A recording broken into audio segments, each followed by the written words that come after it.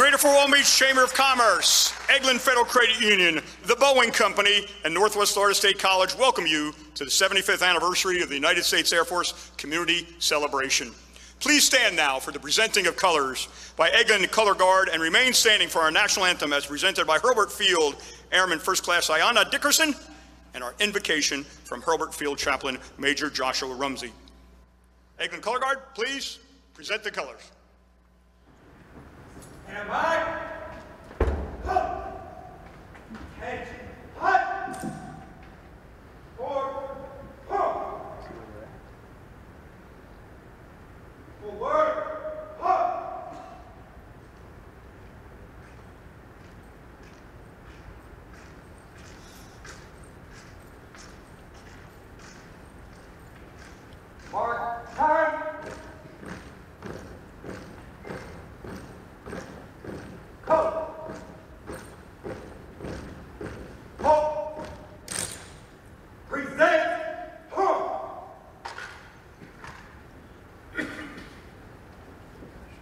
Oh, say, can you see by the dawn's early light what so proudly we the twilight's last gleaming, whose broad stripes and bright stars through the perilous fight o'er the ramparts we watched were so gallantly streaming and the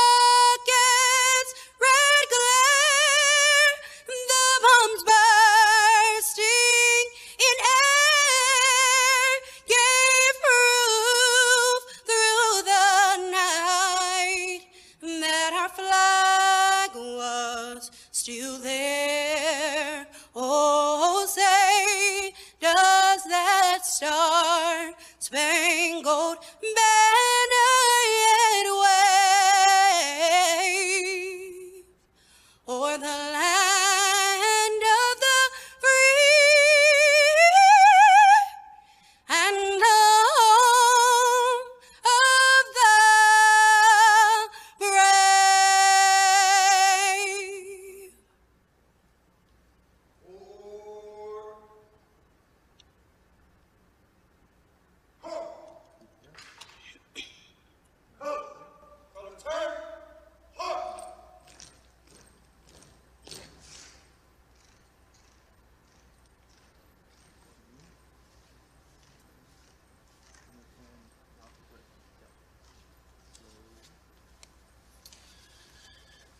I invite you to pray with me.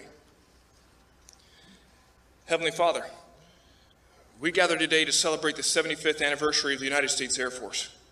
We are grateful for the countless lives of, American warriors the Air Force has saved. We recognize the impact this organization has delivered for our nation, our community, and countless lives of Air Force members. Remind us this impact extends beyond our nation. We ask you guide airmen as we use the unique capabilities and capacity as a force for good.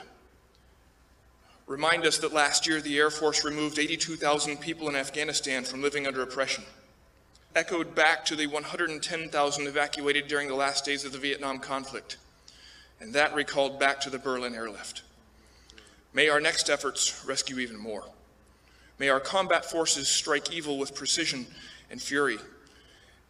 And may our lives be lived upholding the values of integrity first, service before self, and excellence in all we do. We ask these things in your most holy of all names. Amen. Please be seated. Thank you, Eglin Color Guard, Airman First Class Dickerson, and of course, Chaplain Rumsey for starting us off today. Well done.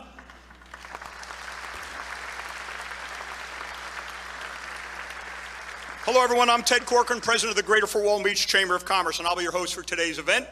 On April 18, 2022, right here on this exact stage, our community came together and held the amazing honor to host the final goblet ceremony for the Doolittle Raiders. While planning that event, it was decided that we would choose one local veteran to represent each of the 16 Raider crews. To help in the selection process, we worked with our public affairs friends from Hurlburt and Eglin, had some incredible assistance from Dennis Barnett at the Air Commando Association. In the process of gathering those folks, I was introduced to some really cool folks like Colonel Larry Ropka and Chief Master Sergeant Bill Walters, both of who we're going to hear from today.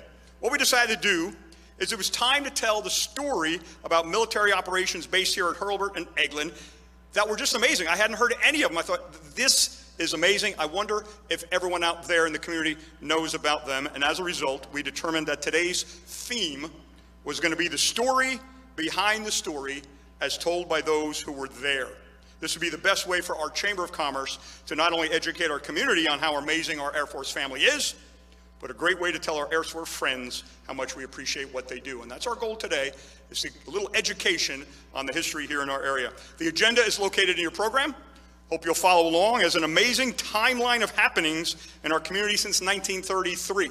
Now, please note, we're not going to be able to include everything that happened on those three pages of chronological. We've picked a couple of the couple of the ones that we could do, and if, if you like it, we'll come back again and do some more in a couple of months. So we're very excited about that. I'm so, speaking of excited, I'll never forget when Representative Patt Maney about a year ago said, hey, I met this really cool guy in an event, and he said he'd come up and do an event with us if you'd like to. I said, Oh my gosh, would I like to?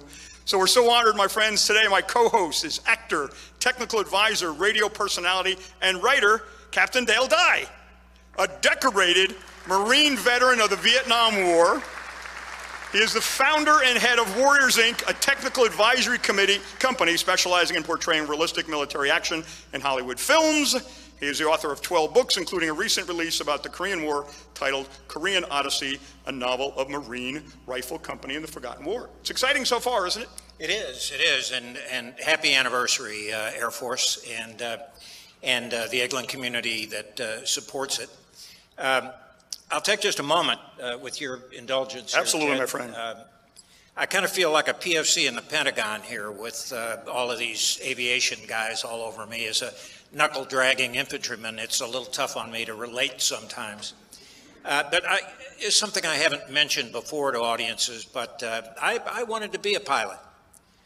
Uh, I remember back in 1963 when I enlisted, that recruiter in Cape Girardeau, Missouri said, Yeah, you can be a pilot, sure.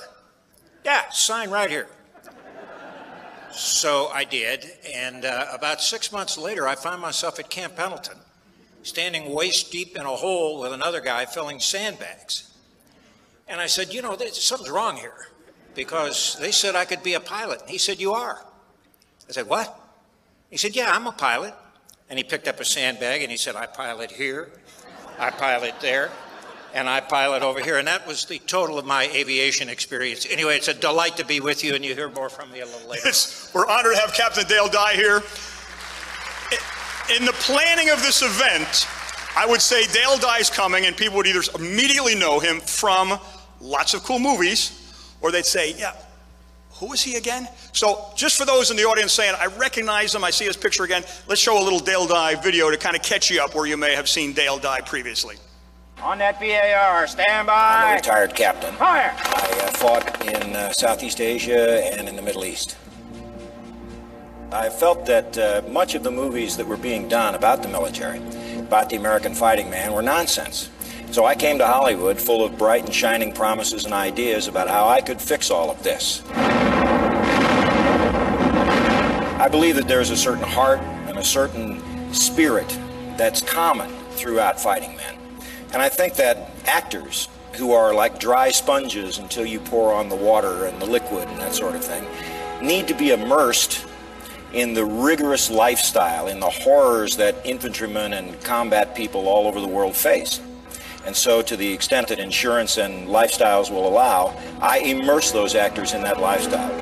To have you all shot. There's nothing less than an active mutiny while we prepare for the goddamn invasion of Europe. All of you NCOs have disgraced the 101st Airborne. You can consider yourself lucky that we are on the eve of the largest action in the history of warfare, which leaves me no choice but to spare your lives. Now get out of my office and get out of my sight. Get. you have to understand we're essentially playing guys who are tired and miserable and uh, who'd want who'd want to go home um, uh, of whom great physical things are being demanded of constantly. And, and we couldn't have done that without having gone through something like Dale Dye put us through. Now, goddammit, not now. We'll get into this when we get back to the base camp. And I can promise you something. If I find out there was an illegal killing, there will be a court martial. Right now, I need every man in the field. And you two will cease fire. Mac, there is no way you can know where in the hell he was dropped. General, first reports out of Ike's people at SHAEF said the 101st is scattered all to hell and gone. There's misdrops all over Normandy. Now, assuming Private Ryan even survived the jump, he could be anywhere. In fact, he's probably KIA.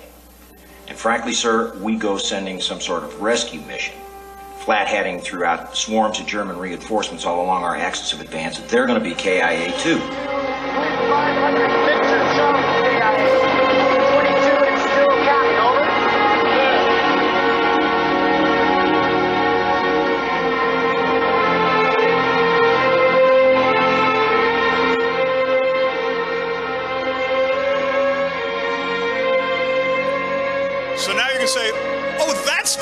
Dale Dye. Now I know who he is. Is, is anyone in that audience not seen Band of Brothers, Saving Private Ryan, etc.?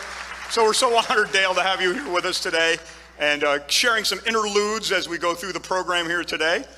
Anything exciting you'd like to say before I give a little history, not only to you, but the others about the history Oh, of I've been Eglin? a- about as exciting as I get right there. So, uh, All right, then. Well, let me start off then with a little background history. Eglin Air Force Base originally fell under the command of the U.S. Army Air Corps until President Harry Truman signed the National Security Act of 1947. The United States Air Force was formally established on September 18, 1947. Shortly thereafter, Eglin became the principal United States Air Force base for development and test of conventional bombs, missiles, and weapon systems. Eglin encompasses over 130,000 square miles and spans over three counties. Today, a joint community of military service branches share space on Eglin Air Force Base, such as Special Operations and Training, including the Naval Explosive Ordnance Disposal School and U.S. Army 7 Special Forces Group. Today, the Greater Fort Beach area is world area is a world-class community of military training, special operations, weapons development and testing, and of course, higher education which brings me to my first introduction. I'm very honored to come right over there, the host for today's event, the president of Northwest Florida State College, the one and only Dr. Devin Stephenson. Dr. Stephenson?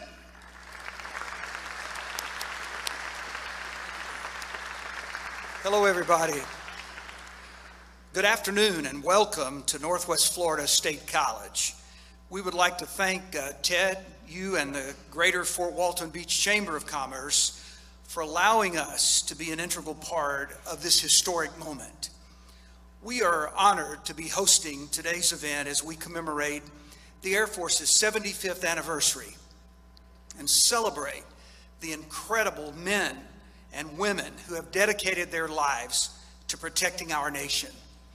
At Northwest Florida State College, we value our military community and recognize the sacrifices that our service members have made. For those of you who don't know, in the college's first year of operation in 1964, Okaloosa Walton Junior College, as it was then known, set about to choose a school mascot. It was decided that the college use the name Raiders in honor of the heroic airmen who trained at Eglin Air Force Base for their famous World War II raid on Tokyo. Northwest Florida State College is indeed proud to use the name Raiders to pay tribute to the heroes of the past who have shaped our future today. We look forward to celebrating the past, the present, and the future as we hear from some very distinguished guests and learn of more legacies and traditions that have helped shape our great nation. To those who have served and those who continue to serve, I speak for the entire college community when I say, thank you. Thank you for your sacrifice, for your bravery, and the example that you have set for us all. We owe you our deepest gratitude, but more importantly, we owe you our freedom. Our country would not be the same without your courage and sacrifice. God bless you all. Well done, Dr. Stephenson. We're so honored to have the event here. We want to thank Jeanette and Chris and all of the staff that have helped us in this great event in this beautiful facility. Speaking of beautiful, we're so honored in our community to have, to have a gentleman who's a general and a judge, and now, as you know, a representative from uh, representing our area in Tallahassee, the one and only Representative Patt Maney. The beautiful Patt Maney, in my opinion.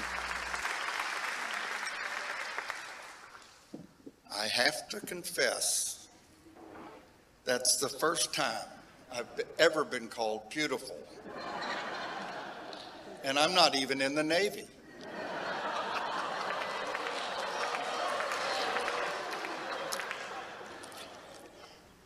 Before I, before I say a few brief things, let me say to all of you who have deployed in the recent conflict, the ongoing, ongoing conflicts, previous conflicts, on behalf of the Florida House of Representatives and Speaker Chris Sprowls, particularly to the Vietnam veterans, welcome home.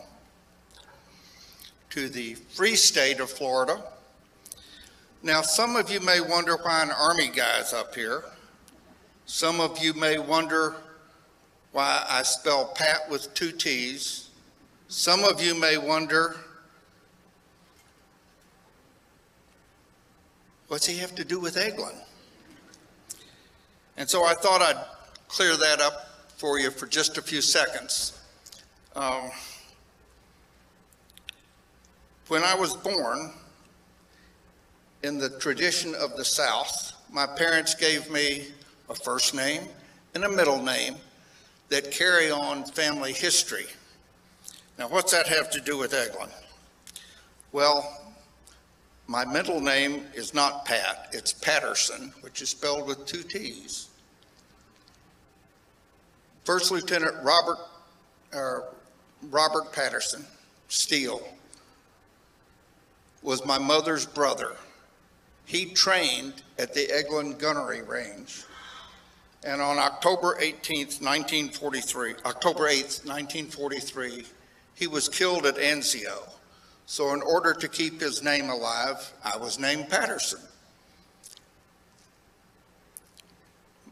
As my nieces and nephews would say, my whole big name is Thomas Patterson.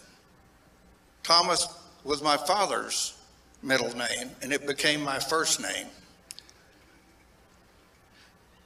Dad joined the Army Air Corps. When the Air Force was created, Dad transferred to the Air Force. He retired from the Air Force and, and became a civilian here at Eglin. And then in 1976, my wife and I moved to Florida, to Fort Walton Beach, where my father was working at Eglin. Along the way, I got appointed to the Florida Defense Support Task Force and had the opportunity to visit every military installation in the state. And I was impressed even more that Eglin Air Force Base is not only a jewel in Okaloosa's crown, but it's vital to the defense of this country. And economically, it's vital to the defense and growth of the state of Florida, Okaloosa County, and really the entire picture of why we have a military. So this event really is a welcoming and a recognition of the many ways the United States Air Force has served this community and our nation for 75 years. And I want to recognize General Chuck Horner down here on the first row. He's probably the, the highest ranking person here. Uh, he's former, he is a fighter pilot. He, he doesn't say former fighter pilot. He is a fighter pilot. And as most of you know, he was the commander of the Allied air operations in Operation Desert Storm. We have Dr. Richard Hallion, who's down here. He's uh, a friend of mine and like General Horner, and he's retired as the historian for the United States Air Force out at Bolling Air Force Base in Washington. We have General Jim Slife. He is the ranking active duty officer here today, I believe, and we are so honored to have him present. I really wish I could take the time to interview all of our, or interview and recognize all of our distinguished guests. But I was told I had three minutes, not a judicial three minutes, not a general's three minutes, but three minutes. So I want to thank each of you for being here, and I'd like to call to the podium and recognize another very distinguished guest that we have today, the senior enlisted advisor to the chairman of the Joint Chiefs of Staff, SEAC, Ramon Colon Lopez. And I think he's going to give us a few brief words, briefer than mine, about why this is important. Chief Colon.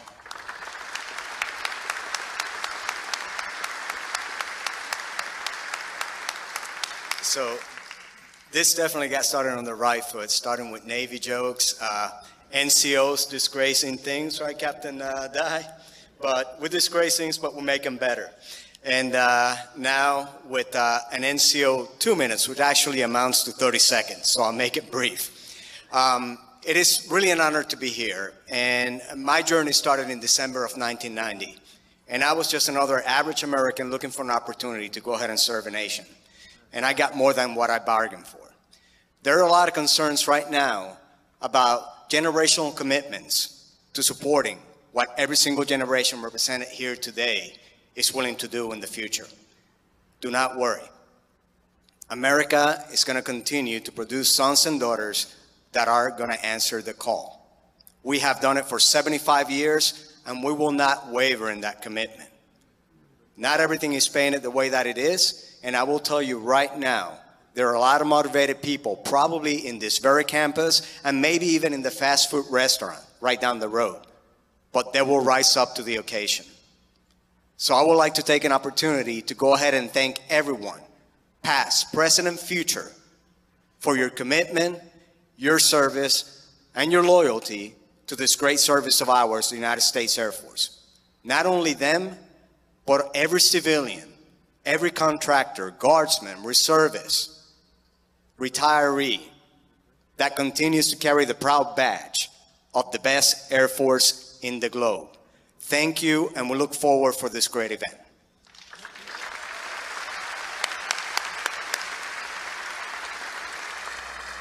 Thank you, Representative Maney and Senior Enlisted Advisor Colon Lopez. Thank you very kindly. Nice to have you in town. Before we begin the rest of the program, it's very important as we give us a history here, is to recognize some notable local area veterans who not only made historic contributions to national defense, but once called Northwest Florida home. I know I will miss some, so please be fair with me. I'll just give you a couple that I had a chance to know during their tenure here. Starting off with the late Lieutenant General Leroy Manor, who was Air Commander of Son Tay Raid.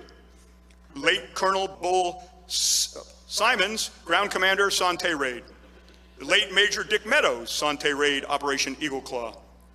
Late Brigadier General Bud Day, Misty Forward Air Controller, Vietnam Prisoner of War, Medal of Honor recipient. The late Michael J. Sir, you know, he served the United States military during World War II, the Korean War, and the Vietnam War. And in order to serve in the Vietnam War, he gave up the rank of Lieutenant Colonel in the Air Force Reserve and became a Chief Warrant Officer in the Army. He was awarded the Medal of Honor. Late Brigadier General Harry Heine Aderholt, Air Commando. His wife Ann has joined us today. Ann is right there. Ann, it's delightful to have you here, my friend. Thank you for coming. Very exciting. Very exciting. The late Chief Master Sergeant Joel Talley, Air Force Cross recipient, former Director of Air Force Enlisted Village. And the late uh, Chief Master Sergeant of the Air Force, number nine, James Binnicker, former Director of the Air Force Enlisted Village. So those are folks who lived amongst us and were just did such a great job. They were wonderful people. So thank you for that.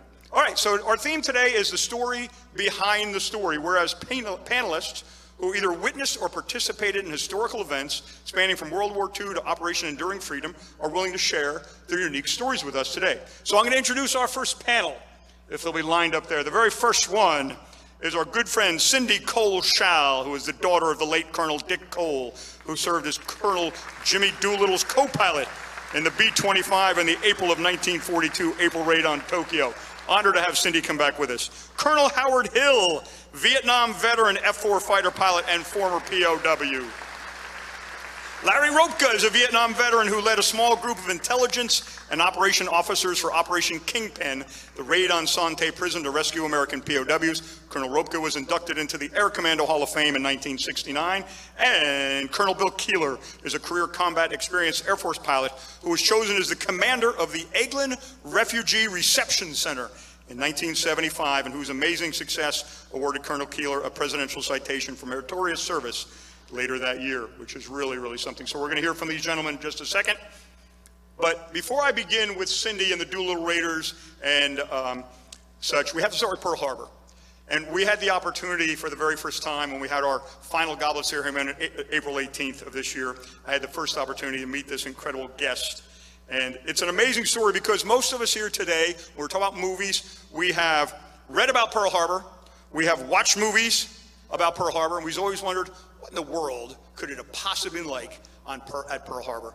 And in this case, my friend, it's an amazing story because Chief Warrant Officer Frank Emond was there. He was at Pearl Harbor. I am now honored to bring our guest from Pensacola, Chief Warrant Officer Frank Emond. Let me tell you his story.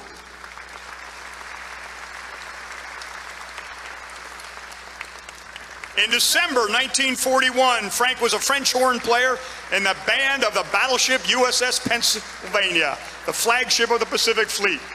The ship was in dry dock at Pearl Harbor on the morning of December 7th. The band was lined up on the stern to play morning colors. At five minutes before 8 o'clock, he saw a line of planes approach the harbor. He watched as the first bomb was dropped on Ford Island. One of the planes began firing directly at the band, and Frank could hear the metal clips hit the turret behind him. After running to their battle stations, he felt the ship shudder as they were hit by bomb and caught fire. Frank served as a stretcher barrier carrying casualties to safety and allowing the crew to fight fires. That night, he was issued an M1 rifle and he stood guard duty on the dock. He stayed in the Navy and became a band leader, retiring in 1968 as Chief Warrant Officer. Today, at 104 years old. He holds the distinction of being the oldest music band conductor according to the Guinness Book of World Records. We're so honored that he could come over and see us today. The one and only Chief Warrant Officer Frank Emond from Pensacola. Frank, thank you very much for coming over here today, sir.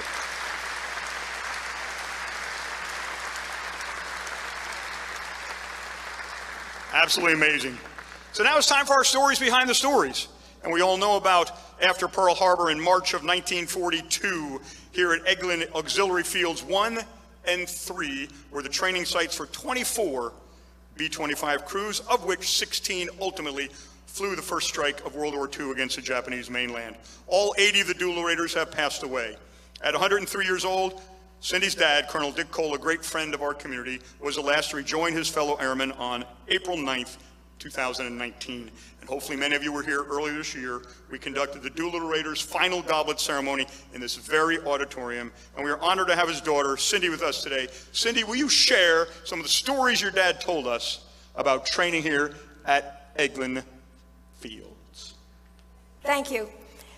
Uh, this is um, a subject that's very dear to my heart. I enjoy talking about this very much, so I might go over time. I hope not.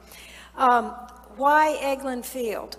Well, it goes back to um, because there was so, uh, there wasn't a lot of population down here. It was very large. It was a bombing and gunnery um, grounds, and it gave them a lot, they thought it gave them a lot of privacy, which they needed because they were trying to do a secret mission. Um, and the Doolittle Raid is one of nine special projects that were done during World War II. It was the first one.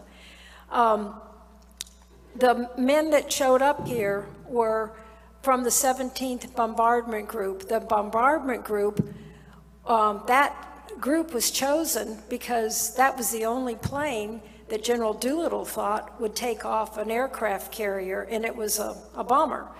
And um, so, like Dad said, they were going on this whether they volunteered or not because they were the only crews in the world that had the brand new B-25. So uh, it was sort of a toss-up. Yes, they were volunteers, but they were sort of locked into it. Um, there were 24 crews that were brought down. Uh, the 17th Bombardment Group came out of um, Pendleton, Oregon. They moved them um, after Pearl Harbor to Lexington, South Carolina, because they were staged, they were starting to stage for Operation Torch in November of North Africa, okay? And um, if they hadn't gone on the raid, those crews were all going to North Africa. Um, so they um, came down, they brought 24, even though they thought they could put maybe 16, 17 B-25s on the deck of the Hornet. It was a brand new um, carrier. And they also were leery whether um, these young uh, flyers, some of them only had maybe 200 hours flying, period, because all the co-pilots had come out of the graduation class of um, July of 41, and this was, you know, March of 42. And even the pilots weren't much more seasoned than that. The highest ranking officer, other than General Doolittle, was Major Hilger. And then there were a couple of captains, and the rest were all um, first and second lieutenants, and then enlisted uh, personnel. Um, this, this raid was unique because all of the personnel, um, the crew chief, uh, the gunner, the navigator, they were all on the raid. Uh, later on during the war, your crew chiefs usually stayed on the ground. So they had a cross section of everything that made up the Army Air Corps. Um, they got down here the beginning of March of um, 42, hoping to have good weather and um, have basically they were trying to do um, what they needed to do to get off the carrier was to learn how to do carrier uh, takeoff. So they got a lieutenant from um, Pensacola, Lieutenant Miller, to come and teach the crews how to do this. Um, well, the young pilots were very apt, and they really didn't need all that personnel. Um, but not only were they um, doing the flying part, but they used the golf for the navigators because only four of the 24 navigators had celestial navigation, the rest of uh, the navigation techniques they had at that time. Um, eight of the Doolittle Raiders, uh, uh, navigators, they came out of Barksdale, which was really the first navigation school of the Army. The Navy had one down in um, uh, Coral Gables, and that's where the four raiders that knew the na uh, celestial navigation learned. Um, and so they used the golf. They also used the, bombing. Uh, one of the, there was a flight surgeon, um, Harvard graduate, and he went to General Doolittle and he said he wanted to go on the raid. This all happened here. And um, General Doolittle said, um, I'm sorry, but we only have a gunner spot, and I don't remember what the other one was right now, but some minor spot sort of. And so Doc White went to the gunnery range here, and not only did he um, qualify, but he became an expert, Harvard Med, and it ended up being very um, unique because he was on um, Crew 15, which ended up cr crashing real close to the coast, which was very close to where Ted Lawson's plane crashed. And Ted Lawson was in the ruptured duck, and um, they um, they actually flipped over, and quite, they were all injured pretty bad, except for uh, Dave Thatcher. Um, um, the youngest, one of the youngest on the raid, and he helped his whole crew to safety. But um, Doc White, through Chinese, without interpreters, they were able to get to where Lawson was, and he was able to doctor Lawson, and he stayed behind, and Dave Thatcher went with Crew 15 to move west against the Japanese.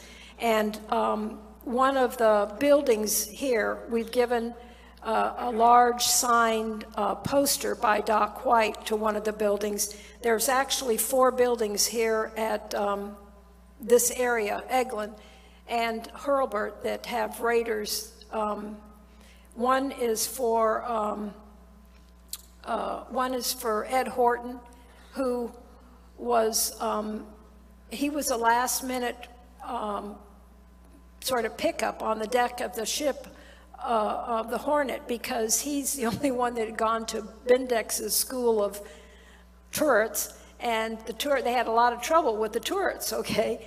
The bottom turret they took out um, they left the top one in. Um, these planes if they if it had worked if they'd been able to land they were going to go in the inventory to help china fight um, the japanese but that didn't work out so ed ends up being at the last minute and he had been in he'd been in the service he was a little bit older and he didn't want to volunteer but he sort of got he said everybody else raised their hand, so he better raise his hand too, type thing. Um, and then Ed Saylor, another building here at uh, Eglin is named after Ed Saylor. And then there was, like I said, nine special projects in World War II. Uh, out of the nine, only five really existed. I've never found the other four, and I've looked. Um, Dad participated in three of them. Uh, the Doolittle Raid, Flying the Hump, and um, the First Air Commandos. And so Dad has a building named after him, um, thanks to Colonel Black. um, so the, the Raiders are, and plus there's Doolittle, um, a couple of roads named after Doolittle and things like that. So they're very well represented around here. Um, Don Smith was able to take off a fully loaded B-25 um, and actually, they were putting more weight in normal because they knew they were going to be carrying extra fuel. They thought, the rumor was that they were going to be put off in an island in the Pacific and, and not to particularly bomb Japan, but to use that as a staging ground to go uh, because um, they were fighting in the Philippines in the southern part. Um, you know, so there was so, but that's what they thought was going to happen. They had a couple of ideas, but they weren't sure what was going on. There was only one or two um, of the top. Hilger, probably Greening, and York and General Doolittle knew exactly what, well, actually, that's not true. Uh, Davy Jones and, and Tom Griffin knew because they went to the war buildings in DC to pick up some of the maps. So they knew um, something else was up, but they, they, they weren't sure exactly. So, um, but um, the 24 crews, the 24 planes that came down, um, only 22 actually leave here. They had two known wrecks, and we've heard a third wreck here. And one is actually do, uh, documented. It was um, Lieutenant Bates, and he was flying it the last day, uh, the 23rd, 22nd of March, and he was the last flight. And um, uh, it actually cracked up real well. Another one uh, flew Joyce, Lieutenant Joyce flew it over to um, um, Houston, and uh, the landing gear or something didn't, and we don't know if that one ever came back into the inventory or not. And then General Jones said that there was another wreck, but we've never been able to find it.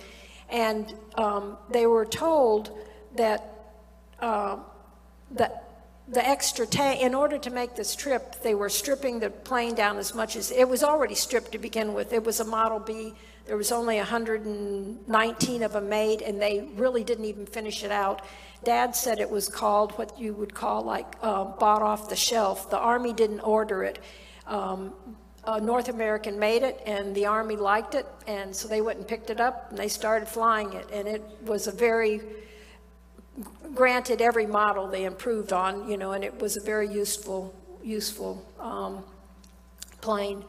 But um, one of the, the rumors well, some of the statements and rumors were that every all the planes were um, retrofitted in Minneapolis for the extra bladder, for the extra gas, and um, Greening, Ross Greening, had taken a crew out and they were flying over the Gulf, and he called up Larkin, one of the enlisted guys. He was sitting on uh, a metal plate that was over where the turret had been taken out. He was sitting on a little toolbox, and um, um, Captain Greening called him up to the front for something, and when he got up to go up there, the metal plate and the toolbox fell off into the Gulf, meaning that that plane hadn't had the bladder put in it yet, which it was done down here, okay? Um, but they never really talk about that. So there was quite a bit of work done here in their three weeks that they were here. Um, the um, Raiders, um, 19 of them lost their life in World War II, and uh, about 28 were left in the CBI because of a stop order coming out of uh, a General Brereton coming out of the Philippines, and about 28 of them actually made it uh, back to the states um, with with orders. A couple of them had orders, but they didn't recognize them, and they ended up staying in the CBI. Five more, five of them lost their life in the CBI, the China India, Bur- India Burma Theater, and. Um, if they hadn't gone on the raid, the ones that came back to the States, they go down to South Carolina and they're back in the group um, and they go to North Africa with the um, Army Air Corps and five more lost their life over there. I did ask Dad, did he feel bad that he was left in China? And he said, no, they were going to put us back in the war no matter what. Because a lot of people felt they came, when they came home, um, the Doolittle raid we always talk about, you know, as a, a, a big um, jolt for the American people, but it was a very big jolt for the whole world because the whole world is, it was in very, very stressed, very high turmoil and was the first good news that the whole world had heard. And so that helped propel the war effort, even though it took us three more years, three and a half more years to uh, finish it off. But I think if there's anything that the Raiders would want people to remember, it would be that there is hope and there is the Americans, uh, they're very resilient. Uh, we were a very small military going into World War II. No one, I don't think the Germans or the Japanese thought that by the middle of 43, going into 44, that we could build a B-24 in 55 minutes with millions of parts. We weren't set, that, set up that way in 1941.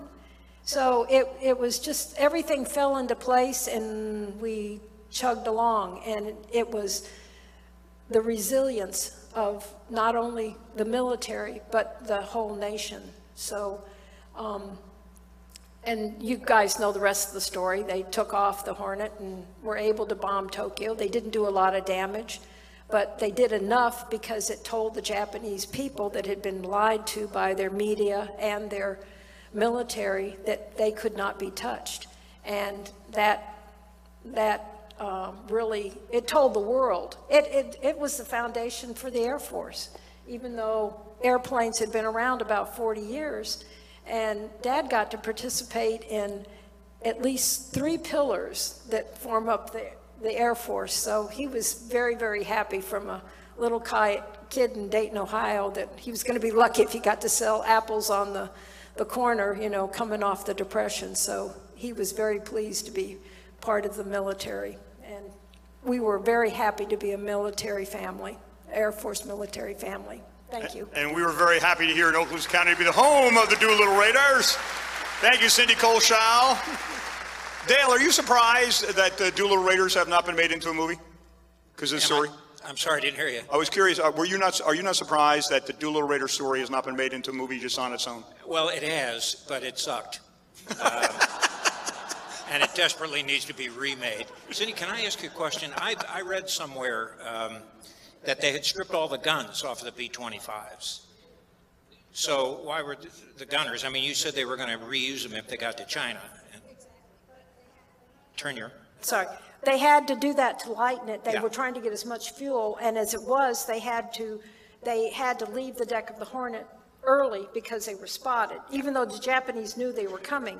What the Japanese didn't know was that they were taking bombers that weren't going to return to the aircraft carrier. And that's what, um, the Japanese knew it. They were just waiting another day to attack the, the whole fleet, okay? And that's how come Halsey, as soon as he got rid of them, and the, they were carpetbaggers, okay? And they, they knew it, the, the Army Air Corps. And um, the, the Navy was spick and white and all shined up, and the, the Army Air Corps was the stepchild of the, the war anyway, right?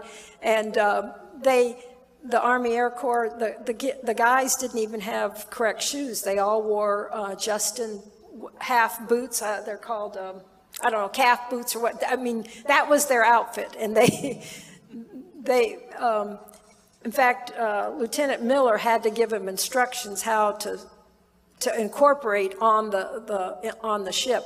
Uh, in fact, the Navy was not happy that they were there, but when they found out they were going to bomb Tokyo, then that gave them their, their card. But they had to strip the plane, um, and they knew they weren't going to be fighting. Um, they were going to drop the bombs and get out of there. Uh, Story, story of an enlisted man's life, right? Yeah, so. I'm a gunner on a B-25. They take off all the guns. I still got to go. So let us do this now. Let's move from 1942 to 1950, where the U.S. military is ordered to Korea in an effort to halt North Korean communists from overtaking South Korea. Eglin engineers are sent to Korea to collect data and design guided missiles for aircraft. An honor to find out our good co-host Dale Dye has written a book about the Korean Odyssey. Perhaps you could tell us a little bit about that, sir. Yeah, um, Korea has always been fascinating to me, uh, except for a few historians um, and, uh, and a few surviving veterans. Uh, it is literally the forgotten war, 1950 uh, until 1953. Uh, it was a war that nobody was really prepared to fight. I mean, we had just gotten out of World War II. We just successfully uh, concluded World War II, uh, four or five years, depending on which side of the Atlantic you were on. Um, and now we got to go to war, a land war in Asia. What about that? Well, the uh, North Koreans came across the, the designated demilitarized zone, the 38th parallel, uh, on the 25th of June, uh, 1950. And as we say in the uh, Marine Corps, the defecation hit the oscillation. And so uh, I can translate that to enlisted talk if you want me to, but, uh, but nobody was really prepared to fight this. Nobody knew what war in Korea would be like. And for the most part, the closest troops were in Japan, and they were relatively untrained garrison troops. Post World War II guys or guys who didn't get to go, and they were, you know, just waiting around to get out. And suddenly, boom, war is declared. That war is not actually declared; it becomes a United Nations police action. Um, and when I was first going through my training as an enlisted Marine, uh, the guys who prepared me for my crucible that was to come later on in Southeast Asia were Korea guys. And these were guys who told me some things that just absolutely shocked me. These were guys who had uh, landed and fought through the Pusan perimeter up to the Naktong Bulge, made the big left hook around the Yellow Sea and landed at Incheon, and then turned left and went north all the way up across uh, chasing the, uh, the North, retreating North Koreans, who were there, there uh, immediately reinforced by hordes of Chinese. And uh, it was an extraordinary story. Um, I was told by some of these guys that, in fact, one of them, a very good friend of mine, uh, deceased now, he had never gone to boot camp. He absolutely had no training. He was in a reserve unit in Pittsburgh, Pennsylvania, waiting for a slot to go to boot camp. And they picked up his whole reserve unit, sent him out to Camp Pendleton, and on his way to Korea. His whole training regime was on the ship on the way to Korea. And I said, my God, is that the hidebound Marine Corps? We let that happen? Well, apparently we did, and we did it in a number of cases. Because as I began to research the book, I found more and more guys who told me that. We were learning on the fly in Korea. And as I began to look at it, I said, you know, the air component of warfare in Korea was uh, really, in large measure, a learn on the fly also, because Korea represented for the American military the dawn of the jet age. But nobody had ever dog fought, if that's, is how do you say it? I dog fought, I dog fight, I dog fought. Nobody had ever engaged in air-to-air combat in a jet before. And so uh, it was it was a unique thing for our new United States Air Force. The Air Force was only two years old at this time as an official component of the Department of Defense. So it was the dawn of the jet age. And those veterans told me, you know, in all of the horror we had, moving up into North Korea in the frozen Chosin and the freezing season, it would have been twice as bad if those MiGs or Yaks out of China had come down and hit us. They didn't, and they didn't because airmen flying those F-86 Sabres that I dearly loved as a kid, I had nine models of them if I had one, they flew up into MiG Alley and kept that from happening. So while the guys on the ground didn't necessarily know it all the time, it became clearly obvious that things would have been a lot worse than they were if they'd been hit by MiGs. That's down to the Air Force. That's down to the brand spanking new United States Air Force that flat got them up there. But the Air Force was learning on the fly, if you will, up in MiG Alley. They were honing tactics. They were learning about attacks, deep attacks on enemy infrastructure, bridges, roads, that sort of thing, that keeps the bad guy from resupplying or reinforcing. The Air Force was learning how to do that. Now you'd think, well, they know all about that because they had the 8th Air Force and the 13th Air Force in World War II, and they know all about bombing, but this was a different deal. This was up there where you had to hit precision targets. You had to destroy those bridges over the Yalu. You couldn't just carpet bomb it. And so the Air Force was learning. And the neat thing is, they did. Logistics. Those of us who are professional soldiers, professional military men in one way or another, uh, we, we know that the professional talks logistics and the amateur talks tactics. But logistics, the business of resupplying by air that the United States Air Force actually invented, in some cases out of whole cloth. Because the only real aerial resupply they had done, as Cindy mentioned, is in the CBI, the uh, China Burma India Theater, when they were flying the Hump. But now, they've got to resupply far flung outfits who are up to their eyeballs in snow and ice. Well, how do you do that with a C 47? Well, you invent it. And that's another thing about the Air Force that I've always admired their ability to innovate, their ability to take a look at a problem and say, you know, nobody's ever done this before, but what the hell? Let's go do it. And they do.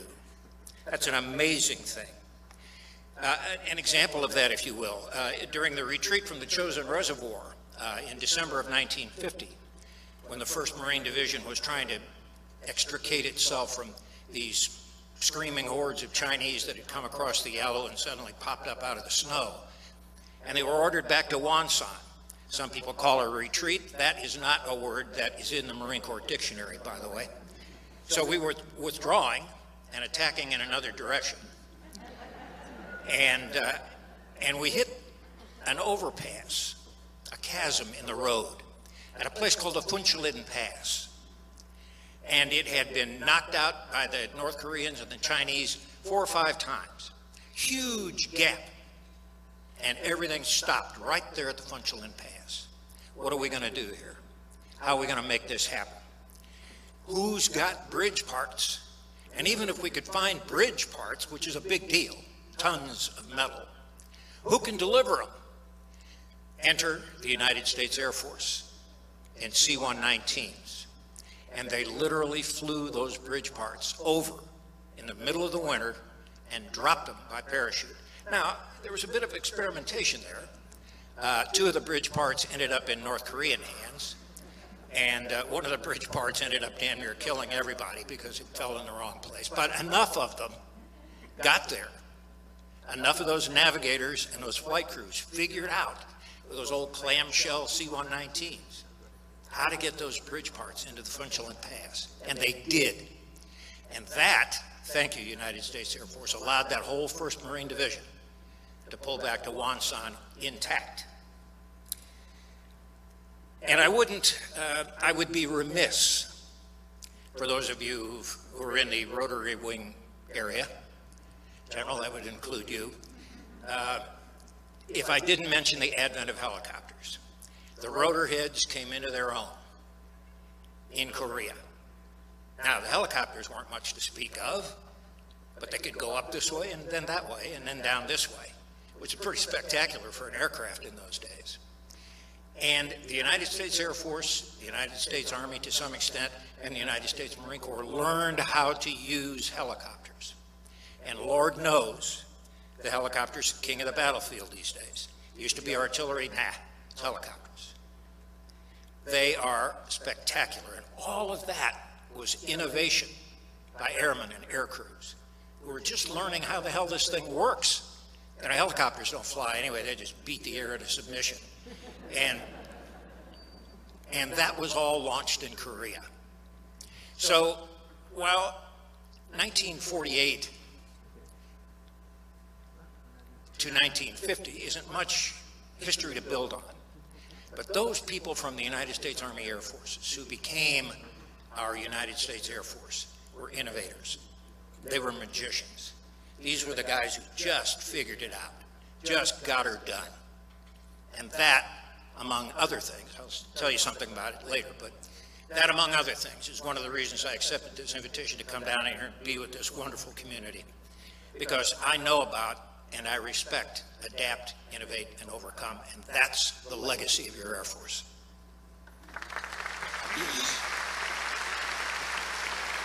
Thank you, Captain Dale. You know, before we move on, I'm so glad my dad was in the Korean uh, War and the Chosin few, so I was very, very honored for that. Thank you, my friend. Before we go on, I, would be remiss if we didn't go backtrack to June 6, 1944. Saving Private Ryan, arguably the greatest beginning of a movie ever.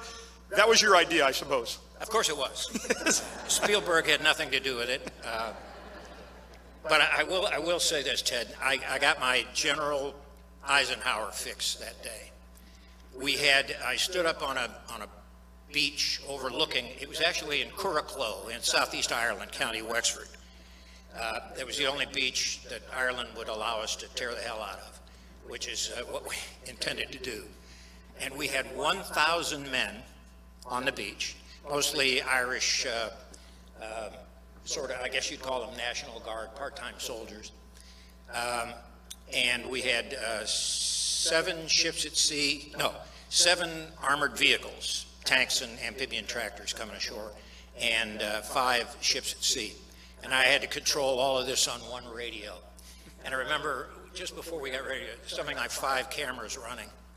And Spielberg's looking at me and he's kind of cross-eyed. Is this going to work? I said, listen, here's the deal, Stephen. You could, we, we spent weeks training these guys so that they, they can load an M1 and load a BAR, and you saw some of that in that, in that opening uh, video. Um, because we wanted them all to reload on the fly, you know, so they could keep the action going. And, and uh, I said, listen, here's the deal, boss. You can say action and everybody will go. But don't even bother trying to say cut or anything else because this crap is going to go on until they run out of ammo, and that's the deal. But it was an extraordinary, uh, it was an extraordinary, extraordinary sight to see uh, because uh, I've had veterans tell me that it was as close to what happened on Omaha on June 6, 1944 as we could get. So I was delighted to be able to work on that picture. And, and then from there also, we were chatting about movies last night. Band of Brothers, arguably the greatest series ever. And you had a chance to meet some of the actual Band of Brothers. I'm curious as to messages you learned from those guys, because they were gone for four years. So some of the messages you can share with the airmen about how the Band of Brothers got along and such. Yeah, um, it, it was indeed a Band of Brothers. I trained them for three weeks. I actually isolated them and I took them back to 1944. We actually went up to the number one parachute school at Brize Norton, and I put them through ground school, and I made them think like 1944. And that was the year I was born, so I, I wasn't very conscious of anything at that point. But uh, I had talked to a lot of a lot of veterans who told me what what their basic training was about, and it was more about unity. It was more about cohesion. It was more about building a team. Now, I've I've always been exceedingly pissed off. Oh, sorry, that's supposed. I've always been exceedingly upset with management in the military. That just sucks um, because we're warriors, uh, or we're supposed to be. Uh, and you lead a warrior, you manage some Scooby Doo clown on a bar stool. I, I guess my enlisted time is coming out here, but uh, so to answer your question, the the uh, the mission was to to give them an insight into that warrior spirit, into that connection that we all feel when we're in extremis, when lives are on the line. And give them an insight to that dark humor that we use to fight off the pathos. Um, and so everything we did was built to that. We'd run five miles in the morning, run singing and chanting so that they could hear the rhythm of their feet when they struck. And if you listen, never mind how tired you are and how exhausted you are, if you listen to that, that's the sound of power. That's the sound of unity. And that's what we were trying to build with Band of Brothers, and I, th- I think we did it. And, don't eat any spaghetti before you run if you've seen the movie, uh, my friend. So, you know, let's jump from Haven't 1940. seen that movie, you're a communist. Sorry. 1944, I want to jump to 1964, where my co-host enlisted in the U.S. Marine Corps, who was in one of the first units sent to Vietnam in 1965. He served in combat for many years as an infantryman, infantryman and combat correspondent. He has a unique perspective on the importance of air support, as you shared. So, Dale, if you don't mind, let's talk about All right, one Vietnam. more time, and then I promise we're going to get to the important people over here. And by the way, I'm humbled to be in their presence. These are the real air pioneers right over here. Let's hear it for them.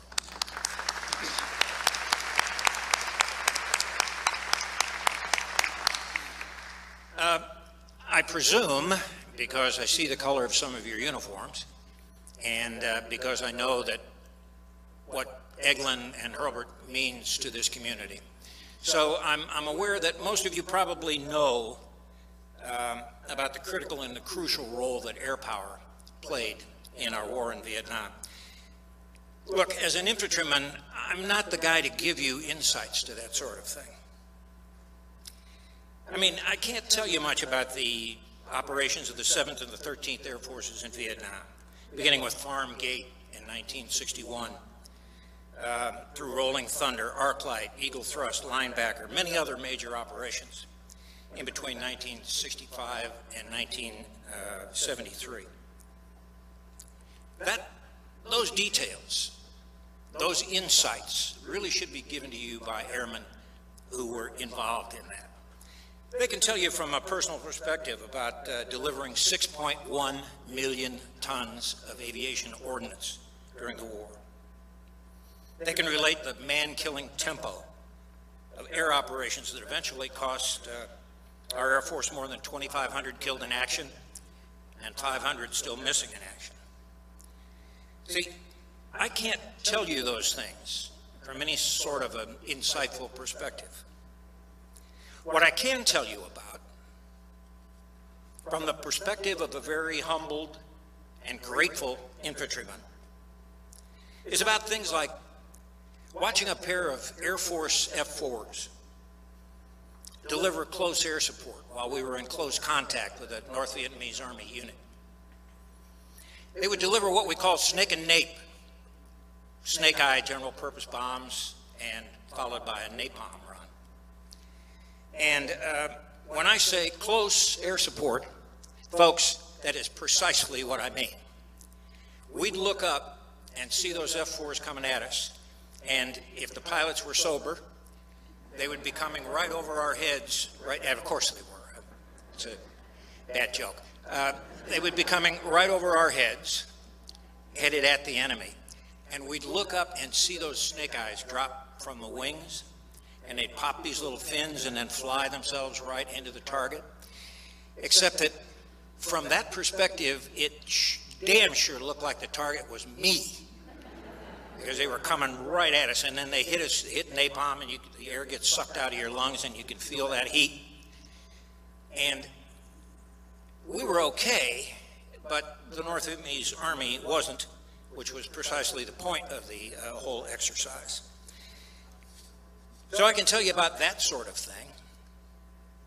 I can tell you about having to hump back. Hump means walk with heavy things.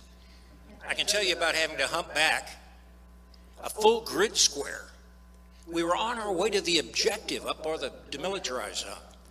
And some clown calls and says, no, hold them. You got to turn around and you got to hump back a full kilometer, full grid square. What? The enemy's up there and you want us to go here. That's not the Marine Corps way. As it turns out, the reason for that was because they were going to run an arc light mission. The buffs, big, ugly, uh, you know the rest. B-52s were going to come over and hit that objective that we were headed for.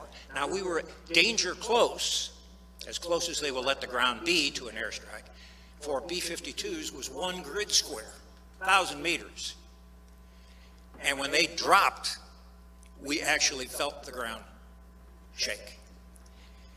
Then we went up to do what you all know as a BDA, a bomb damage assessment. We went up to, and it was hair, eyes, and teeth all over the area. They did some damage. And it was at that moment that guys like me got a real appreciation for air power. That saved lives. I can tell you about being in a foxhole in a night attack. Bad guys coming in all the time, trying to slide into the hole and slide a bayonet in your ribs. I can tell you about that. And I can tell you what kept it from happening.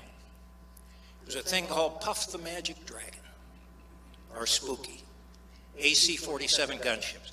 We'll hear later on from some guys who actually flew them, and they'll tell you some more details. But what I remember what I will never forget is looking out into the night where the enemy was trying to move in on us, and it looked like a meteor shower out there. Just magic. Puff the magic dragon. And then you'd hear, ah, ah, ah, and those were those GAU 8 machine guns. And I'm telling you, that is music to an infantryman's ear. They kept us going. Now, I can also tell you about a little time at a place called Sanh. We were there for 77 days. And we would have starved and run flat Winchester on ammunition had it not been for the United States Air Force flying C-130s. They would come in, and we were in bunkers because anytime an aircraft tried to get anywhere near the ground at Khe Sanh, the enemy would open up with rockets, 122s, 80 deuce mortars, and just nail the airstrip anywhere they could. So the airmen figured this out. They said, well, we won't land. Probably, we'll just probably get a nail in the tire anyway. What we'll do is we'll fly that C-130 in as low as it can get, and we'll pop the ramp down and back, and we'll put some parachutes on all that cargo back there, and we'll pop the parachutes, out it goes, and then those knuckle dragging, nose picking grunts can come out and get their chow and their ammo and whatever they need. It was absolutely amazing. Now, the airmen who were in the bunkers with us, who were controlling that, called it Low Altitude Parachute Extraction System, or LAPES. Let me tell you what the Marines called it. We called it a goddamn miracle. A couple of years ago, I did a movie, uh, and this is the last thing I'll say because I really want to hear from these guys. But uh, a couple of years ago, I did a movie called The Last Full Measure. Some of you may have seen it. it and if you haven't, you're a communist. Um, because it was about an airman, a PJ, a parachute jumper, a medic, named William Pitsenbarger. Um, and the efforts of his fellow PJs to try to get him the Medal of Honor uh, many years after he was killed. Uh, he's the kind of guy who was lowered down out of his head, out of his helicopter to pick up the wounded on the ground and try to save lives. And he volunteered to stay on the ground and help the grunts, help the infantry. And he waved the helicopter off and off they went. He saved countless lives. In 1966 at a battle near Hoa. Uh, and we found out about his story. Um, he had gotten the Air Force Cross for that action. And uh, his unit of PJs, pararescue folks, decided that wasn't good enough. We decided it wasn't good enough. And they campaigned to get him the Medal of Honor, which he later got. But that to me, uh, as a former enlisted man, uh, was an extraordinary story that needed to be told.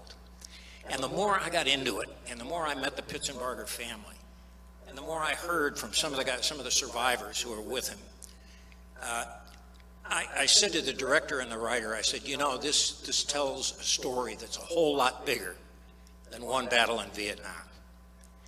This tells the story of selflessness, of service, and of sacrifice. And if you look into it, if you look behind the scenes, that's what the United States Air Force is about. So thanks for listening to me. I appreciate it. Thank you, Dale. Our next speaker on the panel, I first knew him. He was on the Okaloosa County School Board. That's how I first heard about Howard Hill. And then I saw the soccer complex located right down the road here called the Howard Hill Soccer Complex. It wasn't until after I met Howard that I found out that Colonel Howard Hill was an F-4D pilot with the Triple Nickel Tactical Fight Squadron in Thailand. Then a first lieutenant, he flew numerous strike missions into North Vietnam, earning the Distinguished Flying Cross and Silver Star Medal twice. On December 16, 1967, he was forced to eject over North Vietnam, where he was captured and held as a prisoner of war. After spending 1,915 days in captivity, First Lieutenant Hill was released during Operation Homecoming on March 14, 1973. He continued his career, ultimately retiring as colonel. My friend, Colonel Howard Hill, please tell us your story.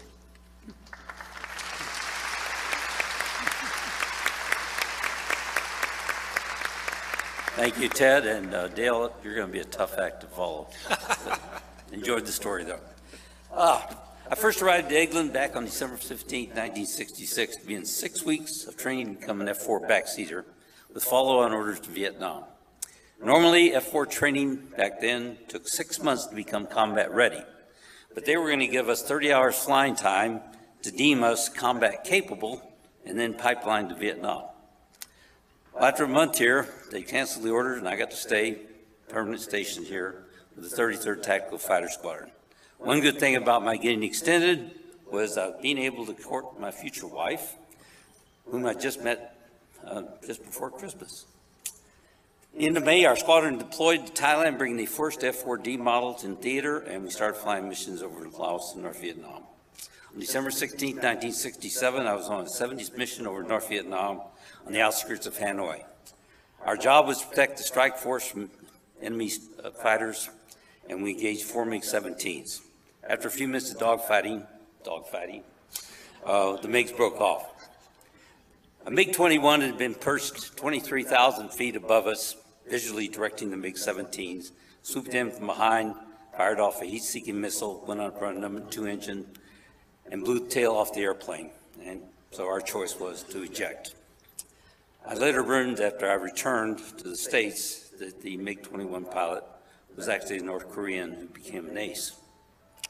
As soon as I stood up on landing, standing 10 feet in front of me, were two young men dressed in pith helmets and military uniforms, looking, staring down the sights of their rifles, bayonets on the ends of them.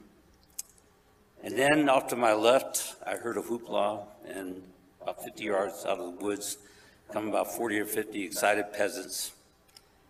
And I later heard that uh, one reason they were probably happy was in those days, uh, the central government, Hanoi, was offering 50 kilograms, that's 110 pounds, of rice for the village for capturing an American. So I guess they figured they're going to eat well. My front seater was captured about four hours after that, and that night we were loaded on board a helicopter and flown into Hanoi to begin our stay in the Hanoi Hilton. Now, people hear a lot about our stories about the POWs, but you hear very little sometimes, uh, very little about the plight of the wives and the families. In many cases, the wives and the families really didn't know whether their loved one was dead or alive. And if they did had word their loved one was captured, they didn't know when or even if their loved one was going to be returning because the war was basically open-ended. And then there was always the question, should the returnee return, what physical and or mental condition they would be in. So some would feel that in some regards, in some respects, the families and wives actually had it worse than we did, and it harder. Now, grassroots level that was led by the wives and the family raised public awareness about our situation and pressed for our treatment to be held, or to be held in accordance with the Geneva Conventions on the Treatment of Prisoners of War. My wife Libby was a founding and active member of the National League of Families of American Prisoners and Missing in Southeast Asia and undertook numerous speaking engagements in the Washington, D.C. area at the request of DOD and the State Department. My mom and dad even traveled with a group of other family members, paid for by Ross Perot, by the way, to Paris to meet with the ambassador of the Democratic Republic of Vietnam, the official name of North Vietnam. One memorable instance locally in support of POWs was a Sunday edition of the Fort Walton Beach Playground Daily News in September 1970, in which the entire front page was written in Vietnamese, and it was an open letter to North Vietnam exhorting them to treat POWs humanely and to release their names and other information. An extra 12,000 copies of the edition were published and sent throughout the country, with 1,000 of them flown to Andrews Air Force Base by Eglin for distribution to every congressman and to every foreign embassy. My wife knew it was a thousand copies because she's the one that picked them up at Andrews. I heard the publisher later learned that the Vietnamese translator had taken a little literary license and inserted a few colorful words, albeit in Vietnamese. You never knew what to expect from our captors. On Christmas Eve 1969, one of my roommates and I were taken to a small auditorium in our camp and to join about 30 other POWs who were seated there. It appeared to be a Christmas Eve church service, but with movie cameras sticking in the open windows, it was obvi- obviously a propaganda shoot. U.S. intelligence was able to obtain a copy of the film from East Germany, and they made five by seven photos of every other frame. The one on the screen was taken of me, at least I hope Seth has it on the screen. Uh, interestingly, my wife and my mom ID'd that of me. My dad insisted it was not me. and then, one sad note, my wife Libby was told by the Air Force Casualty Office that 28 other families ID'd me as their loved one.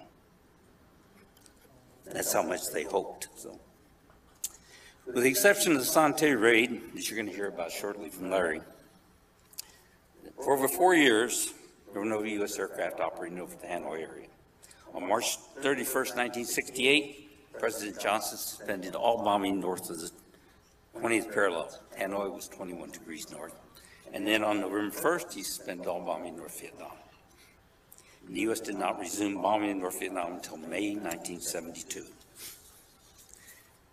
After the bombing resumed in May of 1972, and they moved us all back to the central prisons, Hoa Lo and, and Hanoi, seven of us were conjecturing one day about how much longer the war would go on, and we arrived at a consensus of about another 10 to 15 years. And believe it or not, that seemed entirely reasonable to us because of the way, the pace of the conduct of the war had been going on thus far. And I have no doubt we would have served that long, or if necessary, even longer, because we were determined we would return home with honor. But fortunately, we did not have to, because President Nixon authorized Linebacker 2, which is the most massive aerial bombardment since World War II. It was conducted December 18th and 29th, 1972, and was known as Christmas bombing. It was costly. We lost 28 aircraft, including 16 B-52s with five-man crews, and only one B-52 crew made it back intact. But it was successful and led to the Paris Peace Accords and our repatriation the following February and March, and our repatriation, repatriation the following February and March. But I like to brag that in 12 days, President Nixon brought an end to a war that had been going on for 12 years. Importantly, by our freedom, we were rewarded for our faith in our country. In closing, I'd like to, thank you.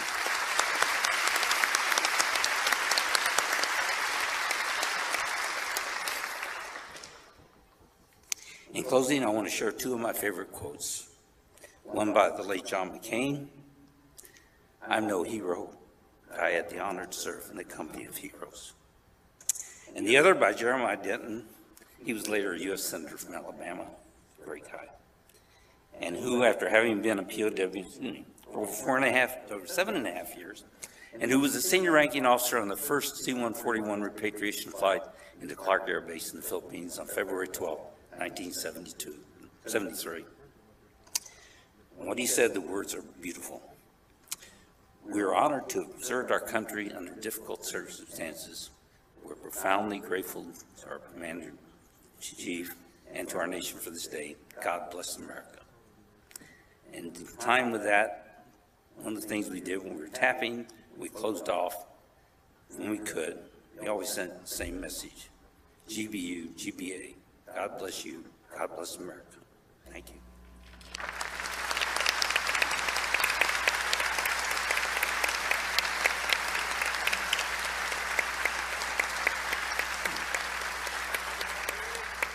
Sir, yes, sir. Howard, can I ask a question? Yes, sir. Um, I don't know if I'll have an Okay. answer, but I can. You needn't answer, Hey, uh, but, hey, uh, you- I'll provide an answer, It may not be the right one, but. You were talking to me earlier about um, the rules of engagement and the restricted Oh, areas. yes, I mean, yeah. you were flying, your squadron flew out of Ubon, right? Mm-hmm. And, New uh, Thailand. And it had to be frustrating. I mean, I've worked with rules of engagement, and they all Mhm. suck like a Hoover vacuum cleaner. I mean, I understand that. Yep. But, but really, there were areas where you knew they were, and they knew you couldn't bomb. Oh, yeah. Around Hanoi, there was a circle there that they knew we couldn't hit in. Um, we could uh, bomb in Laos and, or, uh, or conduct uh, combat operations in Laos and um, North Vietnam. We couldn't conduct any in South Vietnam. In fact, what was frustrating, you mentioned the Marines at San, when their ammo dump got hit and it burned for four days, uh, you could see it at night because it was the fire. You could see the smoke during the day. We could bomb on, they were right there just on the very south edge of the demilitarized zone. We could bomb on the north side, but we couldn't bomb on the south side. And they were facing two battalions of North Vietnamese regulars there. Uh, so it sort of hurt in a way that, um, well, we could bomb on the north side, but uh, we had to rely on the guys that were stationed in South Vietnam. They're the ones that could attack there. So, yeah, it was, uh, stupid, but that's the way it was. Salute and march on. You're an inspiration, Howard. Thanks. I appreciate it. Thank you, Howard Hill. Uh, Fantastic. I recently read a naval history publication that said, early after midnight on November 21st, 1970, the U.S. Navy in the Gulf of Tonkin executed what should be lauded as the greatest special operations deception in modern warfare by assisting the Army and the Air Force in their attempt to rescue American POWs from Son Tay in North, uh, North Vietnam. In the book, The Son Tay Prison Rescue Mission, the writer indicates Lieutenant Colonel Lawrence Ropka, the group's senior operations officer, was quiet, enthusiastic, but subdued, poised, and confident. He enjoyed everyone's respect. His cohorts called him an inspiring guy. If there was one real brain in the Son Tay planning, they said it was Larry Ropka. I'm very pleased to introduce now Colonel U.S. Uh, Air Force retired and former Deputy Assistant Secretary of Defense, Colonel Larry Ropka. Larry.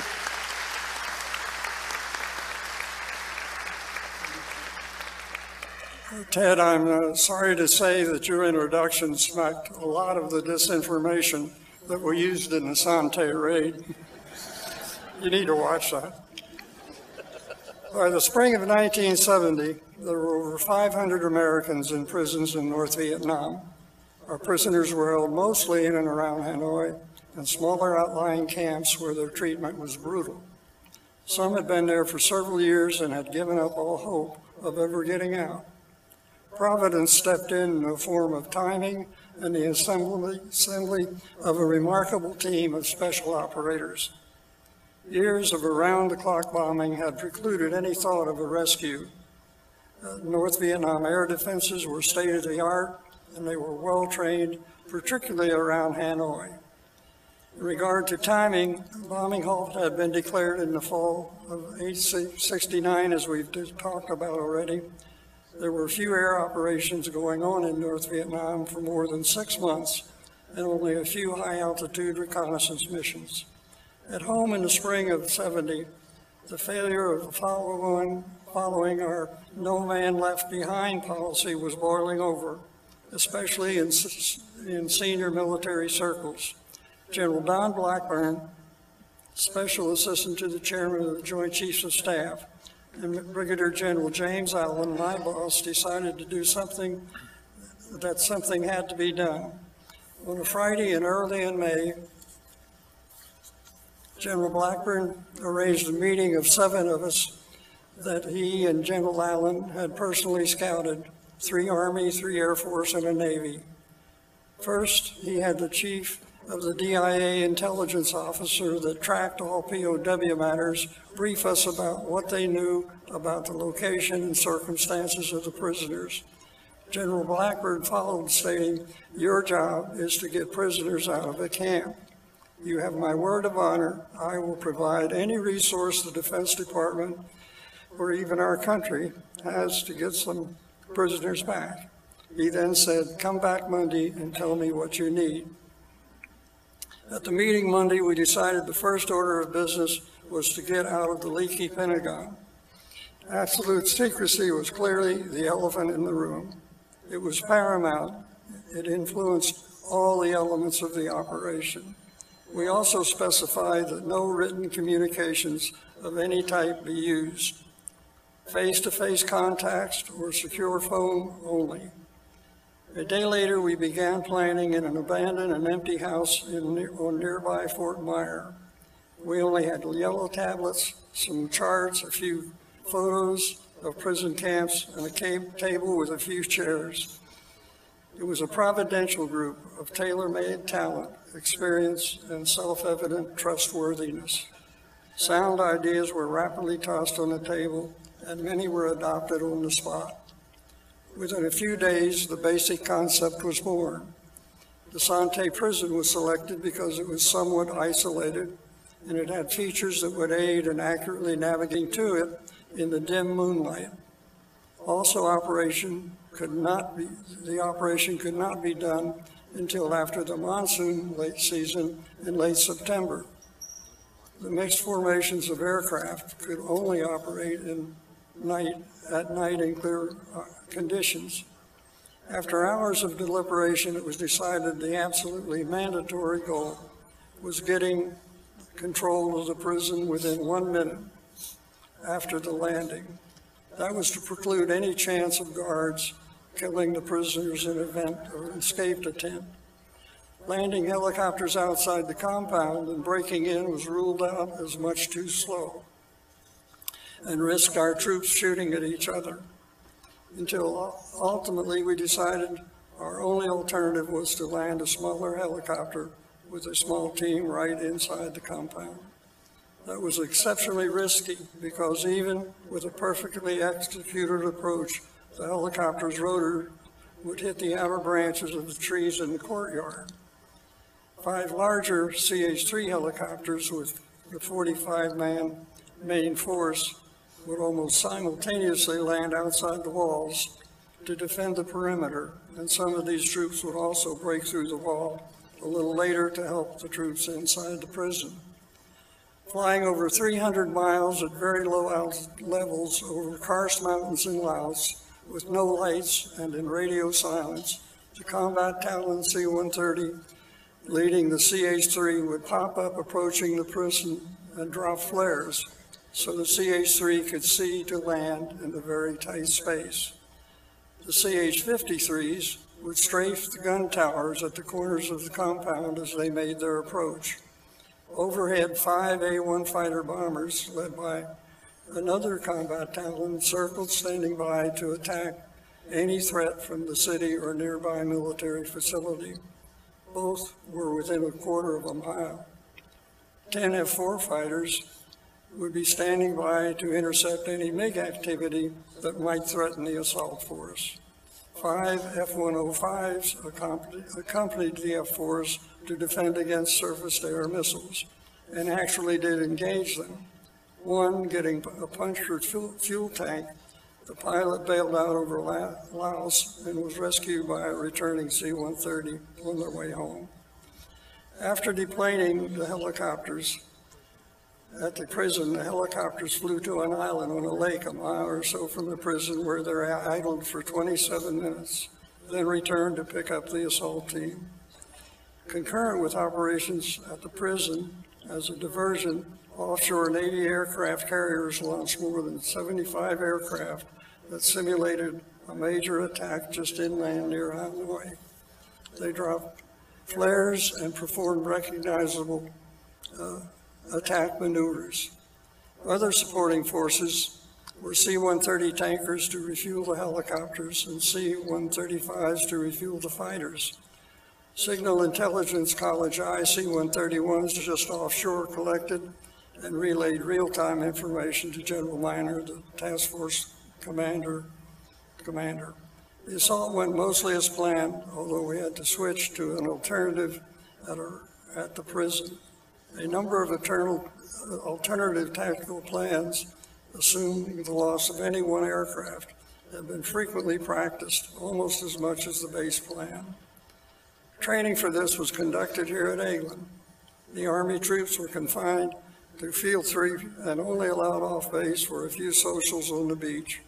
Air Force personnel were blended into normal activities, but followed persistently by two dedicated security officers, rumored to have authority to fire, fire anyone that made a misstep. It was a good rumor. it worked.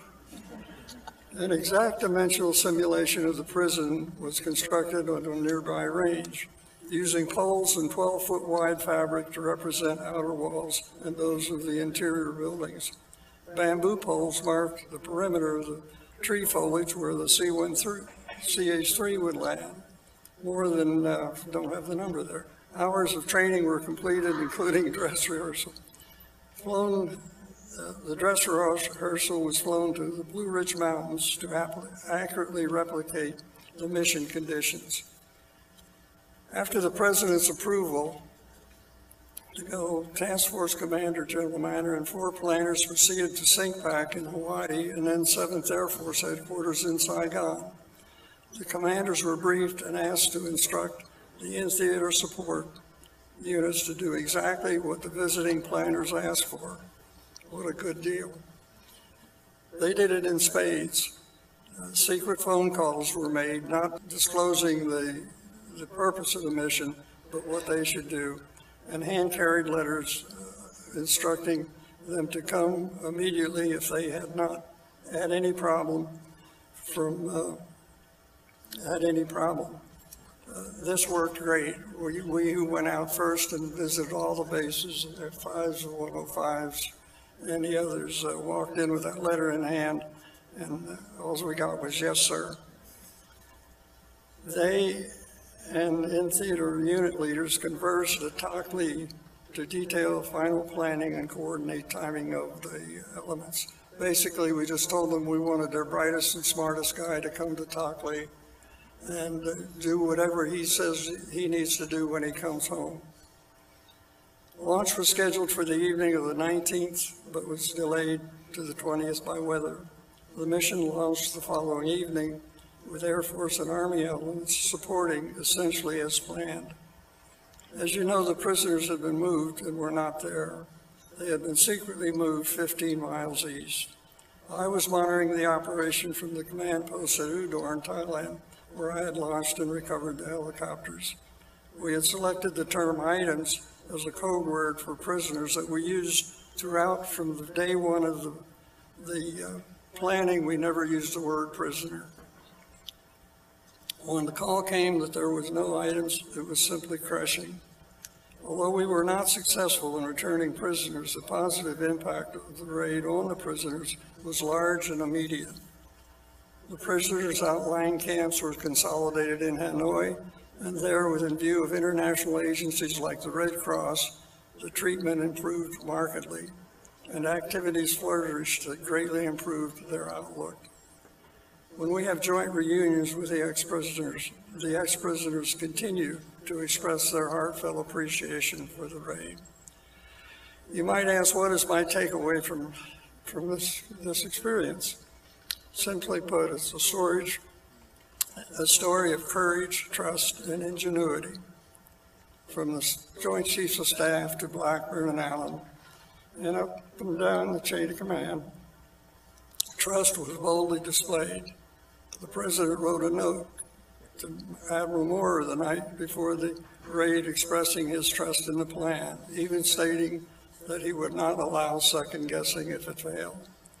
To sum it up, inventive ways around myriad show-stopping problems were always found, often unconventional and almost always involving high risk.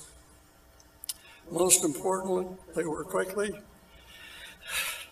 accepted and incorporated. These are the essence of special operations and what the airmen at her embrace every day. They deserve our greatest appreciation and help at home when their partners are deployed. My time is up, The drawing that appeared in Time magazine just after the raid pretty well sums it up. That's it. Thank you.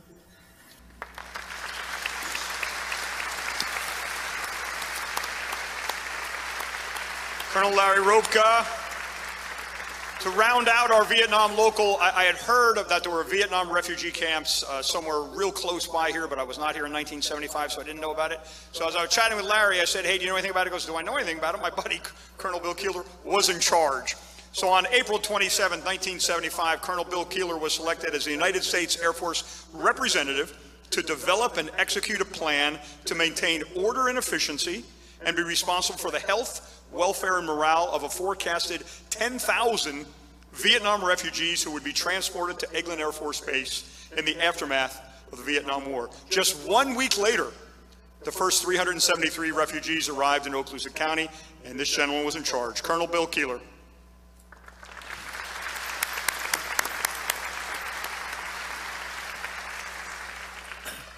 In April of 1975, Saigon fell.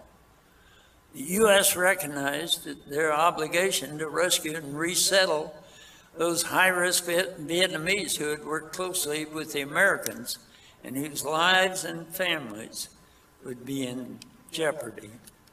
On Tuesday, April 27th, the Eglin commander, Major General Lane, called a meeting to inform his local area commanders of the events that were about to occur.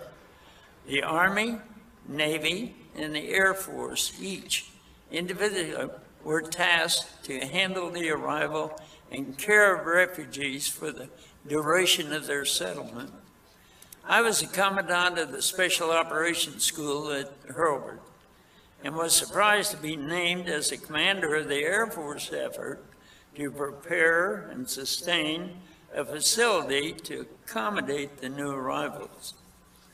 Eglin Field 2 was an abandoned World War II training facility 12 miles from the main gate at Eglin. It was selected. There was no housing on it, but it contained an inoperative water tower and the remains of water and sewer lines. We started building 500 tents which we thought would probably hold between 10 and 12 cots each, plus extra tents for showers, five field kitchens, and meal tents. Five days later, on May the 2nd, the first aircraft arrived at Eglin with 373 refugees. They were met by a very small number of us at 2 a.m. Using hand gestures we directed the new arrivals to buses for a trip to the refugee center and to find cots and latrine tents. They carried their sole possessions in sacks, pillowcases, or briefcases from Saigon. Care was taken to keep families together, very important for them. They followed the following morning, they begin their new life with an American breakfast and a tour of the sites. A few refugees saw the ongoing construction and volunteered to assist with building more tents and facilities. Security, as always, was a concern.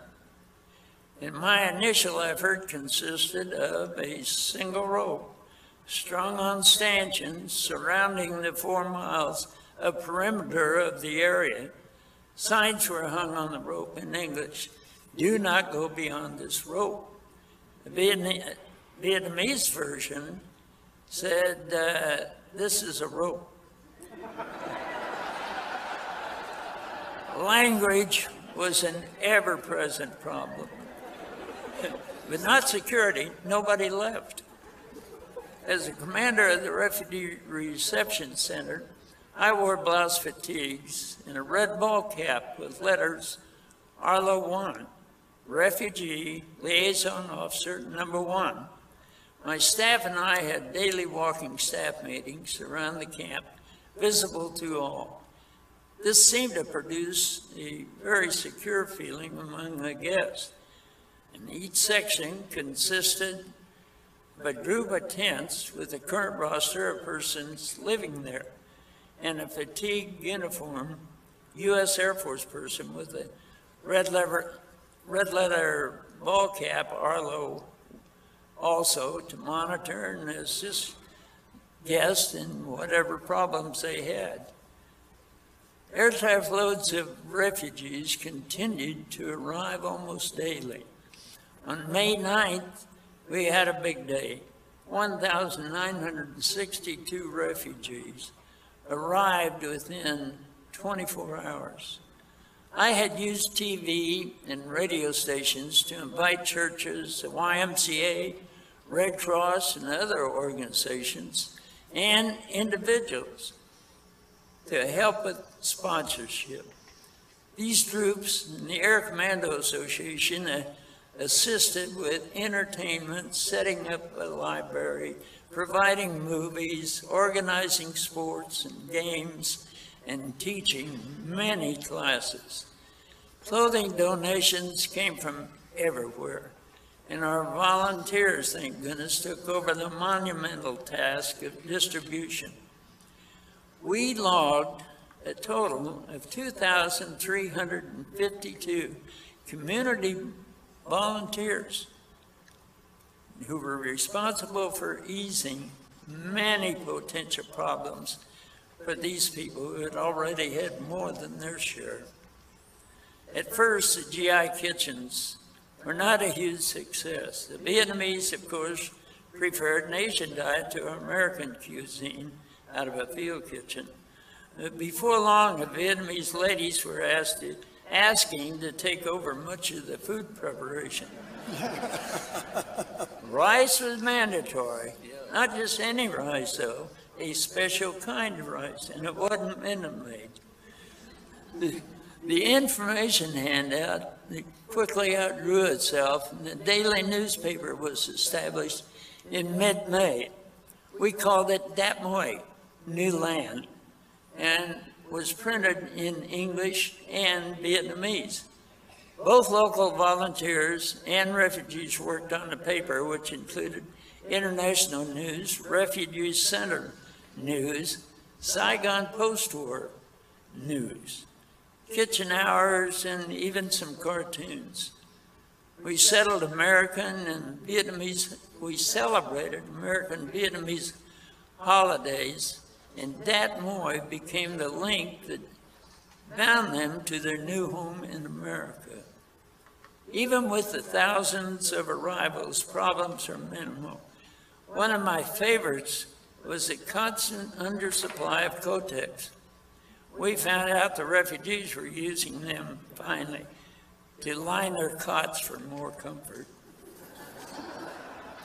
Eglin and, and in Okaloosa County, with only five days' notice, welcomed, sheltered, and fed over 10,000 Vietnamese, plus 13 new babies, between May and September 16th, when the last meal was served.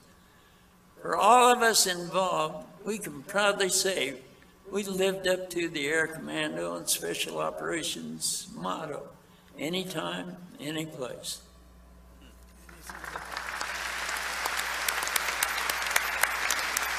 Thank you, Bill. Before we just sit, before I let panel one go, I would like to, and that's the conclusion of our Vietnam component thing with Dale and his other stories. Are there any Vietnam veterans in the audience right now that we could stand and recognize? There we go. Well done. Thank you. Chuck Merkel's out there. My friends, we are now going to uh, have panel one take a break here. Cindy and Howard and Larry and Bill were very appreciative of that. Thank you very much, my friends. Coming up in just a moment is our next round where we're going to talk about Operation Eagle Claw and Grenada and Desert Storm and, uh, uh, and uh, Afghanistan and, and with our good friend General Webb to talk about the Bin Laden, uh, Bin Laden um, situation. So while we're waiting, how about Jerry Williams? Let's have a word from our sponsor. I'd like to thank, you. we can't have an event like this without sponsorship from companies like the Boeing Company, who is very, very kind, and in this case, our good friend Jerry Williams from Eglin Federal Credit Union. Now, a word from our sponsor. All right, a word from your sponsor. Thank you, Ted.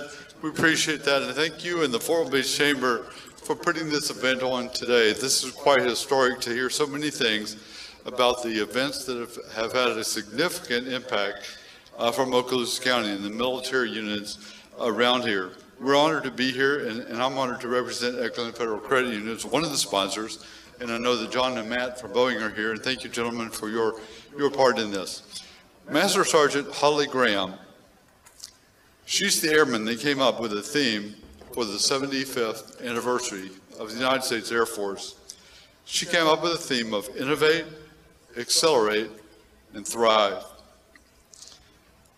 I heard recently from General Slife how the Air Force has innovated recently, taking the cruise missile, putting it on a pallet, airdropping it out of the back of a C-1 an MC-130J, taking two mature parts components of the Air Force and finding innovative ways to deliver that munition into places where you normally wouldn't be able to deliver it. So the, the Air Force in- is innovating. We're witnessing that today with all of the speakers that are here bringing us their stories. They've contributed greatly to the defense of our nation and the freedoms that we enjoy. As the Eglin community has grown up around us, so has many of the organizations that support the, the military community. Eglin Air Force, or Eglin Federal Credit Union is one of those. We were stood up in 1954. We've been serving members of this community for 68 years. We too are growing. You might have seen the new operations center that we're building on Beale Street. That's going to be a back office operations center for us. We're keeping the main headquarters on Eglin Parkway because we're growing. We're expanding. We're also building branches in Freeport and in Pace, Florida, as we continue to grow. There are others being planned. We have many employees that are military spouses. That keeps us in touch with the military. But we also sponsor and we participate in a lot of different things throughout this area. I had the privilege of serving as an honorary commander for the 24th Special Operations Group, Wing, back in 2015. What a privilege it was to learn about all the things that go on behind the gate at Hurlburt Field. I grew up fishing in that little pond down there by Gator Lakes and watched all of the C-130s fly in and out of there. Nobody really knew or cared that we were there. Things have changed quite a bit, I promise you that. But growing up here, I was able to see what happened a bit. Being an honorary commander brought a lot of that to life for me. Same thing with being a civic leader for the 33rd Fire Wing uh, with AETC. I learned a lot about what goes on at Eglin, and I'm very impressed with that. We not only provide financial services uh, to everybody, we also sponsor a lot of events. I'm going to give a shameless plug to one that's coming up this Saturday. The James Binnicker Memorial. You heard about uh, Chief Binnicker, the chief, ninth Chief Master Sergeant of the Air Force earlier. They're having a race out at the Air Force Enlisted Village. Our friends there, for I think the seventh or eighth year in a row, as a fundraiser. So if you're a runner, that's a great event to join. If you're not a runner, uh, then I invite you to join us tomorrow night for a salute to veterans, where we salute the Okaloosa County residents who have been inducted into the Florida Hall of Fame. Quite a, a lot of accomplishments there. It's our privilege to serve all of the military communities, communities around here. Throughout the years, we've watched you innovate, we've watched you accelerate, and we've watched you thrive. So Ted, I'm going to turn it back over to you as we continue to celebrate the Air Force turning 75. Thank you. Well done, Jerry. Thank you very kindly, Eglin Federal Credit Union.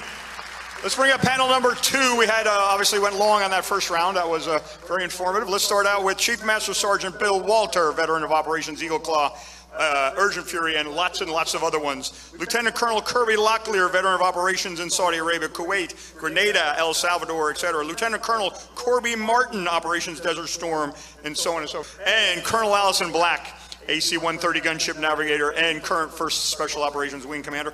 And back to see us again, Lieutenant General Marshall Brad Webb, who has a plethora of honors, etc.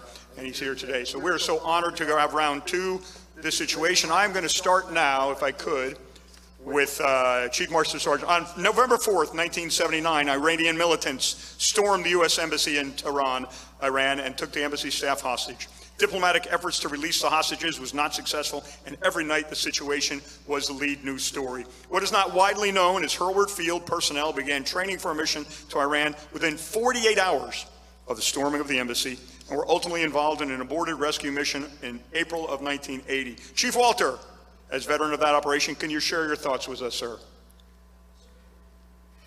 Certainly. Uh, I think there's probably some people here in the audience that are surprised saying, why is there a gunship guy briefing about Operation Eagle Claw? How does that happen? All right. Well, first, it requires a little bit of setup. Uh, on Hurlburt Field, I got here in 1978. Uh, that's the last century for you young people. And I, I can tell you, it was uh, a lot of ways parallel to what we're seeing right now. It was the end of a big conventional war and gunships were being spooled back. Uh, pretty much everything in the special operations capacity was being diminished for uh, the war against Russia. That was the focus. I was a gunner on AC-130s when I got here, and uh, the activity on Hurlburt was very slight. I think that's a good way of putting it. Uh, were we prepared to do a mission to Iran? I'd say no. Uh, but that didn't stop us from trying. The very first attempt that we had was called, or the planning mission was called Operation Rice Bowl. And it was deliberately named to divert, or to uh, divert attention uh, because we actually trained in, uh, in Guam, of all places. And uh, that was really the cover story for the uh, Iran rescue mission.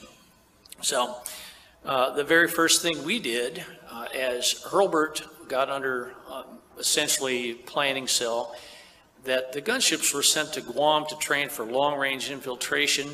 Uh, and it was kind of an unusual thing, but uh, I'll get on to my mission next after the next question. Tim. Yeah, absolutely. We chatted about, you talked about AC-130s, and I did not know there was any AC-130s involved in that Operation Eagle Claw. Yeah, uh, that's true. And uh, operational security was very tight. Like I say, uh, there was people on that mission that didn't know they were on that mission. That's you can't get tighter security than that. As a matter of fact, uh, uh, Colonel Dick Dunwoody was the uh, the wing commander at the time, and there was only about four people on the entire base of Hurlburt that knew what we were actually training for. And believe it or not, while the MC-130s were training for the actual rescue with the Delta Force and the Ranger Force, gunships were actually not part of the rescue mission. And I, have detailed this out real well in, in the books that I've uh, written, uh, but you can get the details there. But the, the general, general consensus was we were training for a strike on the Abadan oil refinery in Iran. It was a punitive strike. Completely different. Why were gunships selected? Because we could shoot at night with limited collateral damage and we had the legs to get in there. That's the, the main reason. Uh, then that mission, I guess somebody figured out that we were going to probably light it on fire, said, nah, that's not such a good idea. Let's move them over to Khatami Air Base and shoot the F-14s out there. And not until after Thanksgiving that year did we get moved to the actual rescue itself. And we were then assigned to. Now, mind you, uh, I was a three-striper at the time. If people remember the old buck sergeant rank, that's what it was back then. And I had no idea what we were training for. Everybody kind of thought they knew, but uh, you weren't allowed to speculate or you were coming off. And I tell you, uh, that was the only thing in town that day or that time, so nobody wanted to come off. Everybody kept their, their mouth shut. Uh, we were moved to the uh, rescue mission for fire support uh, towards the end, right after Thanksgiving in 79. So, you know, the, the perception is that there's only six C-130s, eight helicopters, and about 120 Delta Force assaulters. I think that was not incorrect, or incorrect, rather. Uh, yeah, like, like I said earlier, I think our OPSEC was really good because there was over a thousand people. And I've got the list of all the names. We got them from the non-disclosure agreements, as a matter of fact.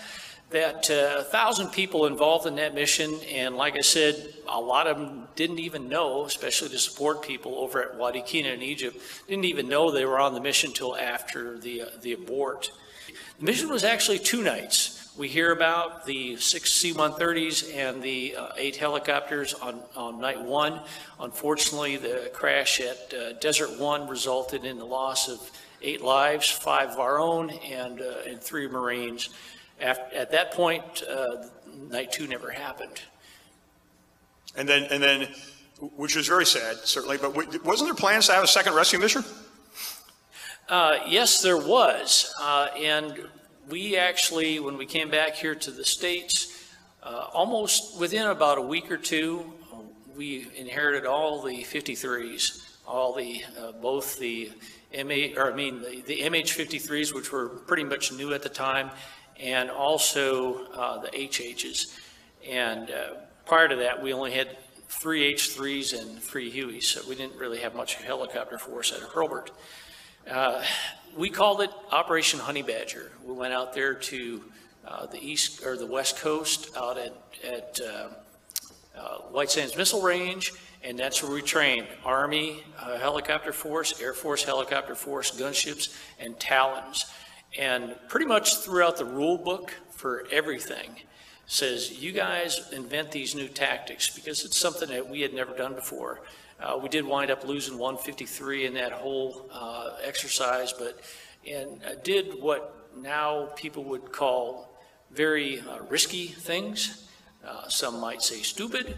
Uh, we didn't see it that way. We were trying to our best to develop tactics, techniques, and procedures to pull the mission off. Unfortunately, uh, the mission didn't really go forward.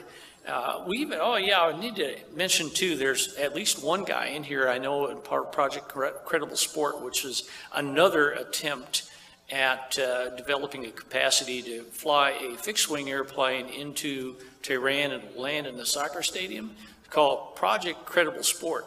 Get up there on the internet. It's the one where I had all the rocket motors, the ASROC missile motors on the airplane so they could land in very short uh, distances and take off in very short distances. One of those guys is here. I know he's a friend of mine. Uh, I won't name him out, but that was uh, very interesting. That was done right out here on Field One at Eglin, the same exact field where the Doolittle Raiders trained back in uh, in 42. And uh, after a few successful takeoffs and landings, uh, they had a crash, resulted in the loss of the airplane. Unfortunately, uh, they had moved all the hostages into different locations, uh, so it made a, a second rescue attempt impossible anyway.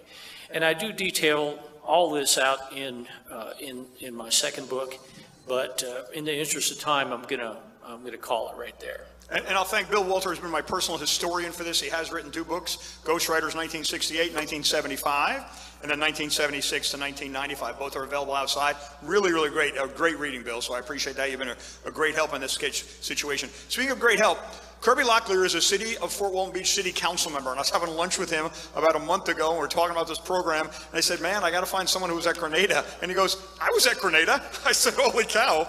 So I had no idea. So Kirby, would you be kind enough, my friend, to tell us what it was like for Operation Urgent Fury on the island of Grenada? Um, my story began on a Sunday morning on the October 23rd, 1983. My crew was over at Charleston Air Force Base. We were bringing back a, a gunship, but it was there we heard the news break that two truck bombs had uh, struck buildings in Beirut, Lebanon, uh, housing American and French service members. Uh, it killed over 307 people, including 241 U.S. service members. Most of those were Marines. As we were flying back to Hurlburt, and as uh, crews will do, we shared a little bit of the gallows humor. Uh, we said, boys, we are going to Bekaa Valley, Lebanon, the land of the three fingers of death. Uh, for those who are flyers, that's the SA-6, by the way. Uh, we also added, someone will be meeting us upon landing and saying, you're going into crew rest immediately. Sure enough, when I got there, there was that blue and white staff car. The colonel comes out, talks to the crew, and says, as of this moment, you are in crew rest. Uh, and so off we went home. I took care of some personal business, and I waited until that next day, midday Monday, on the 24th of October, I was ordered report. We entered a large conference room. If you ever seen a World War II uh, movie and you see the bomber crews coming in and there's a big screen covering the map, that's exactly what we walked into. The colonel pulled the uh, drape away and I was fully expecting to see a map of Lebanon. And I saw an island. And I looked at the navigator next to me and said, where the hell is that? so the briefers went on to say President Ronald Reagan was, has ordered U.S. forces to invade and secure uh, approximately 1,000 Americans uh, threatened by the newly installed Marxist uh, regime on the island of Grenada. As a member of the 16th Special Operations Squadron, Hurlburt Field, I was assigned to an AC-130 call sign Lima 56 in support of Operation Urgent Fury. Our mission was to be the first over the island to determine if the Point Salines International Airport was uh, cleared or blocked so that we could determine whether they were going to do an air-land assault or whether they were going to do a parachute assault. Uh, we, are, we arrived at approximately 3 o'clock in the morning, and it was a couple hours before sunrise, and sure enough, that runway was blocked. They knew we were coming. The airborne assault was led by the 75th uh, Rangers, followed by the 82nd Airborne. The northern half of the island was the responsibility of the U.S. Navy and Marines. Once the second gunship arrived, and that was Lima 58, we went to our secondary mission to support uh, the, um, to secure personnel east of the airport. While over the secondary objective, dawn broke, and we could see Lima 58 engaging AAA anti-aircraft guns uh, and the airborne assault was under its way. Then Lima 58 experienced a 105 gun malfunction and we joined the fight over Salines, engaged the Cuban manned AAA sites. During the initial uh, run-in, the lead MC-130 Talon from the 8th SOS was spotlighted and drew heavy AAA fire, but they was pretty much already locked up so they were able to succeed, uh, do a successful drop of the Rangers. But the second and third combat talons had to abort their run-in due to heavy fire. Unfortunately, the shooters were on planes two and three. The first airplane dropped the command and control and the support elements. I could hear on the radios as those uh, command elements were calling, where are our shooters? Unfortunately, well, fortunately, the gunships were able to provide cover and suppress the AAA to allow the airdrop to continue. Eventually, we ran low on fuel, and a KC-1 tanker called in to clear. Anyone need gas? We took up the opportunity, refueled, and got back into the fight. There, we engaged targets at Fort Rupert, and we supported a Navy SEAL team pinned down by hostile fire at the governor's mansion. Finally, we ran out of ammo, and low on fuel, we were ordered to go to Roosevelt Roads, Puerto Rico to take home more ammo because the operation was definitely taking longer than anyone expected. We were brief it was going to be 24 hours. It really lasted longer than that. But when we landed at Roosevelt Roads, the ammo was no good, and we had to go back to Barbados, refuel, rearm. By this time, more gunships and supplies were on its way to Barbados. When we landed at Barbados, I fully expected to get back into the fight, but we had a crew replaced us, and I was able to put an end to my 30-hour crew day with over 20 hours in the air. By midday Wednesday, we launched again out of Barbados, and we supported targets near the student campus and the police training area. Interesting, while weapons hot, a Navy A-7 flew low right through our flying orbit. I always wondered if that A-7 pilot knew he was in our No, he's crosshairs. He's gone. Near the end of our time on station, another AAA site uh, came up, but uh, we returned fire. And it was there where I saw the uh, CH-46 that became disabled and was abandoned on the beach. For myself and the crew of Lima 56, that was pretty much the end of our, uh, our fighting, though the fight, gunships continued to engage targets throughout the third day. From there on, we flew armed reconnaissance missions until Agent, uh, Operations Urgent Fury officially ended on the 4th of November when we went home. It's important to note, though, that although Operation Urgent Fury was a small campaign and often looked, least we never forget the bravery and the gallantry and the sacrifice of the 19 U.S. service members that lost their lives in those three days. Thank you, Kirby. You know, I, I remember when you were chatting about the Grenada map. Do we have a picture of that map, Seth? When we were having lunch, you said they didn't, they didn't know where Grenada was. They had to give you a tourist map to find out, right? Isn't that what they issued you? Uh, You know, I get asked that question quite a bit, and when we were doing some research, I actually have a copy of the actual tourist map we used. Uh, and if you look at it, the runway wasn't even on there. Uh, we had the navigational charts to get us there, but the detail we needed to do targets was uh, pretty limiting, and this is all we had. You know, it is uh, certainly sad, and we lost the 19 servicemen, but the, the, the Grenadian citizens, what did they say about the operation? I mean, they, they were happy you were there. They were very happy, and I believe that reading my friend's book here, they talk about, they even put a, a memorial to remember the, the sacrifice of those 19 service members. Yeah, that is correct. And they also, October 25th of every year is a day of Thanksgiving, a national day of Thanksgiving in Grenada. There we They have have it. no So- turkeys, though. Thank you, uh, Kirby, for that. I appreciate that immensely. You know, in our script initially going through chronologically, we had Panama next, but we're going to read that in your book if we can. So Panama came next, and then now I want to jump to uh, August of 1991, where Iraqi dic- dictator Saddam Hussein directed his army to seize the country of Kuwait.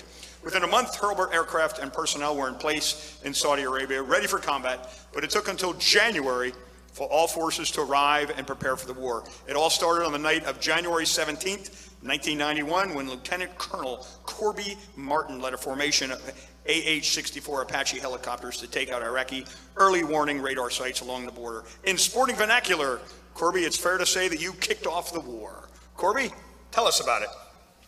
Thanks, Ted. You can see, I put my glasses on. Uh, welcome to the welcome to the community celebration honoring the 75th anniversary of the Air Force. I used to tell people uh, who asked me where I was from that I was from Idaho.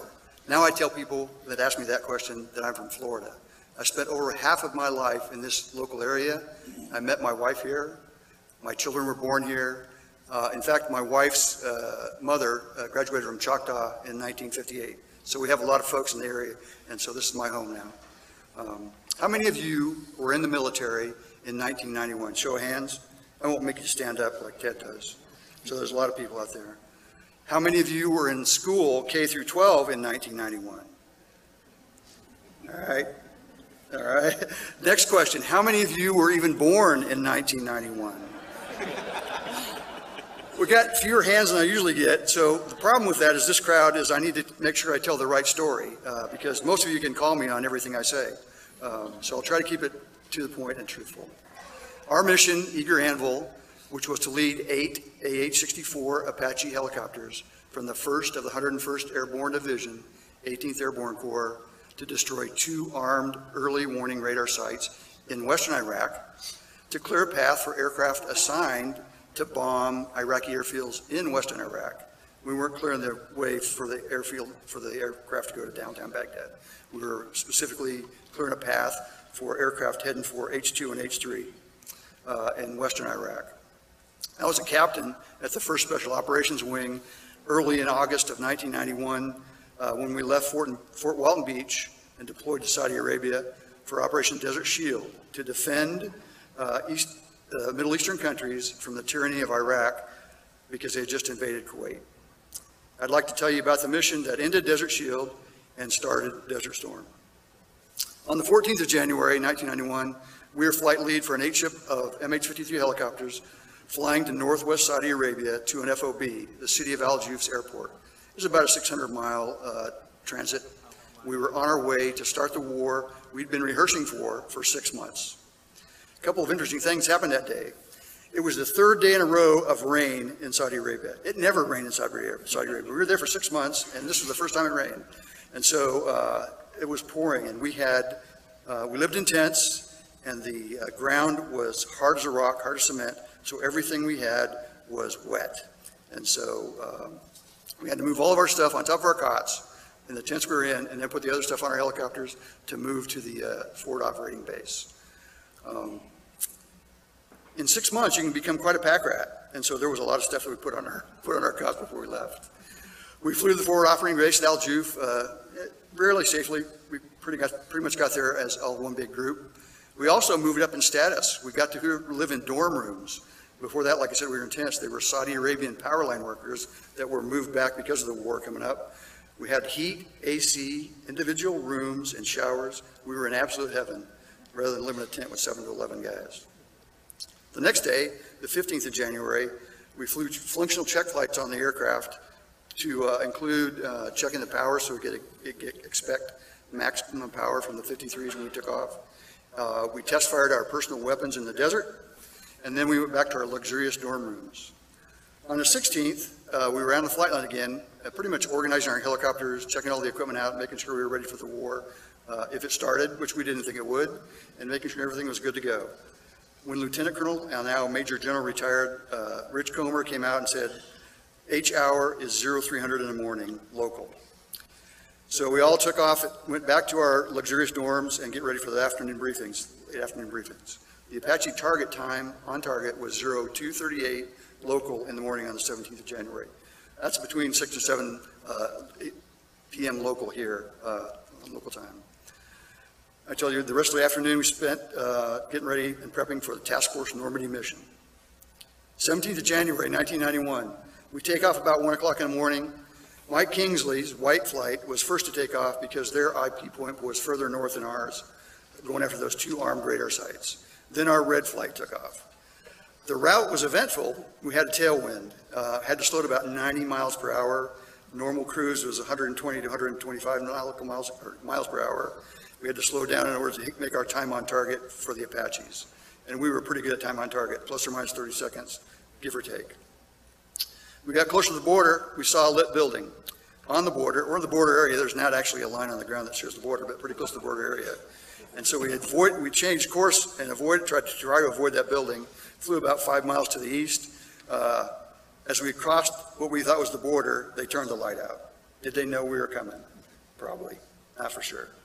We flew the Apaches to their tactical IP, uh, dropped a chemical light marker so that they could update their navigation and targeting systems, and then released the Apaches to their target, away they went. So, and then we did a big left-hand turn, and en route to our holding point, rally point in Saudi Arabia, we were going back south to wait for the Apaches to get their mission done. We were shot at by an anti-aircraft missile. We flew by a tent and a truck in the middle of nowhere. As we passed the area, my wingman fired flares, which were quickly followed by our aircraft firing flares and uh, making a tactical break. Uh, we found out later from Shock 2 that their right scanner and tail scanner saw a guy fire an anti-aircraft missile at us from the truck, possibly an SA-7 based on the, uh, uh, the uh, characteristics, characteristics of the missile. He didn't hit us. Uh, we were low level, and the flares went off and, and misdirected the uh, missile, we think. We were so focused on the Apache mission that we didn't consider going back and taking care of the guy. As far as I know, he could have been in Saudi Arabia or he could have been in Iraq. Not sure about that. So we just kept going, pressing on down the road to our rejoined holding point for the Apaches. While we were holding for the Apaches, I told the crew to watch north of our holding area for the start of the fireworks. And about 2.38 in the morning, it looked like the 4th of July was going off. Because there were other targets being hit around the area besides our Apaches. The Apaches started it, and then there were multiple targets being hit. Um, you could see AAA going up in the air, uh, trying to get to the airplanes that were trying to bomb. Big flashes on the ground, uh, 10, 50 miles north of us, where the bombs were hitting. And at, obviously, at that same time, there were T-LAMs in the air, there were cruise missiles in the air, there were uh, F-117s dropping bombs downtown Baghdad. All kinds of things happened. It took about five to 10 minutes for all that kind of calmed down. We viewed F-15Es, F-111s, and Tornadoes They were flying about 500 feet in our forward-looking infrared radar, and they were heading to the uh, west to bomb those airfields that the uh, H-2 and H-3, that the- through the corridor that the Apaches had- had opened up on them. After we rejoined our Apaches and took them to an airfield for refueling, we climbed up uh, to uh, air refuel ourselves and get ready to follow on the mission of combat search and rescue. We were redirected to Al Juf because of the small number of aircraft that were shot down on the opening night of Desert Storm. I believe it was probably one, uh, and it would be Commander Speicher in the Navy F-18. That's the only one that got shot down that night. Um, As we were heading up to our tanker, uh, it looked like, well, here, oh, the sky was covered, no, it was blanketed with anti-collision lights. It looked like the LA freeway in the, in the nighttime, all these lights, all these little lights, uh, um, fighter bomber flights chasing this big light in front of them to try to get gas. Everybody wanted gas before they crossed the line to head into Iraq and drop bombs or provide cap for the people that were dropping bombs. And so you'd have these, a bunch of little lights flickering around right a big light, and they would drop off, and they would fly north, and at a certain latitude, the lights were off, and it was completely dark. Dark as you can believe, out in the desert at night, so it was really black, and you could not see those guys going through. It was an awesome display of air power from the United States of America and our coalition partners, something you would never, ever see in the rest of your life. Uh, Today, you have some of those aircraft in the Eglin Hurlburt Air Parks. They symbolize the sacrifices that were made by all the Air Force heroes that have come before you. It's a daily reminder of the dedication and belief you all have in the Air Force mission and the United States of America. Thanks.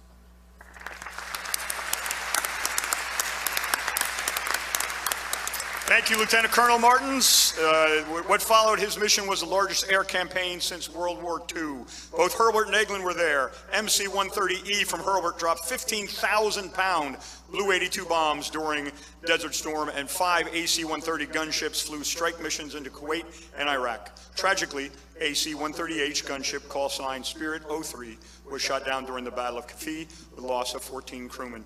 The 33rd Tactical Fighter Wing from Eglin shot down more Iraqi MiGs than any other unit, earning it the nickname of MiG Killer.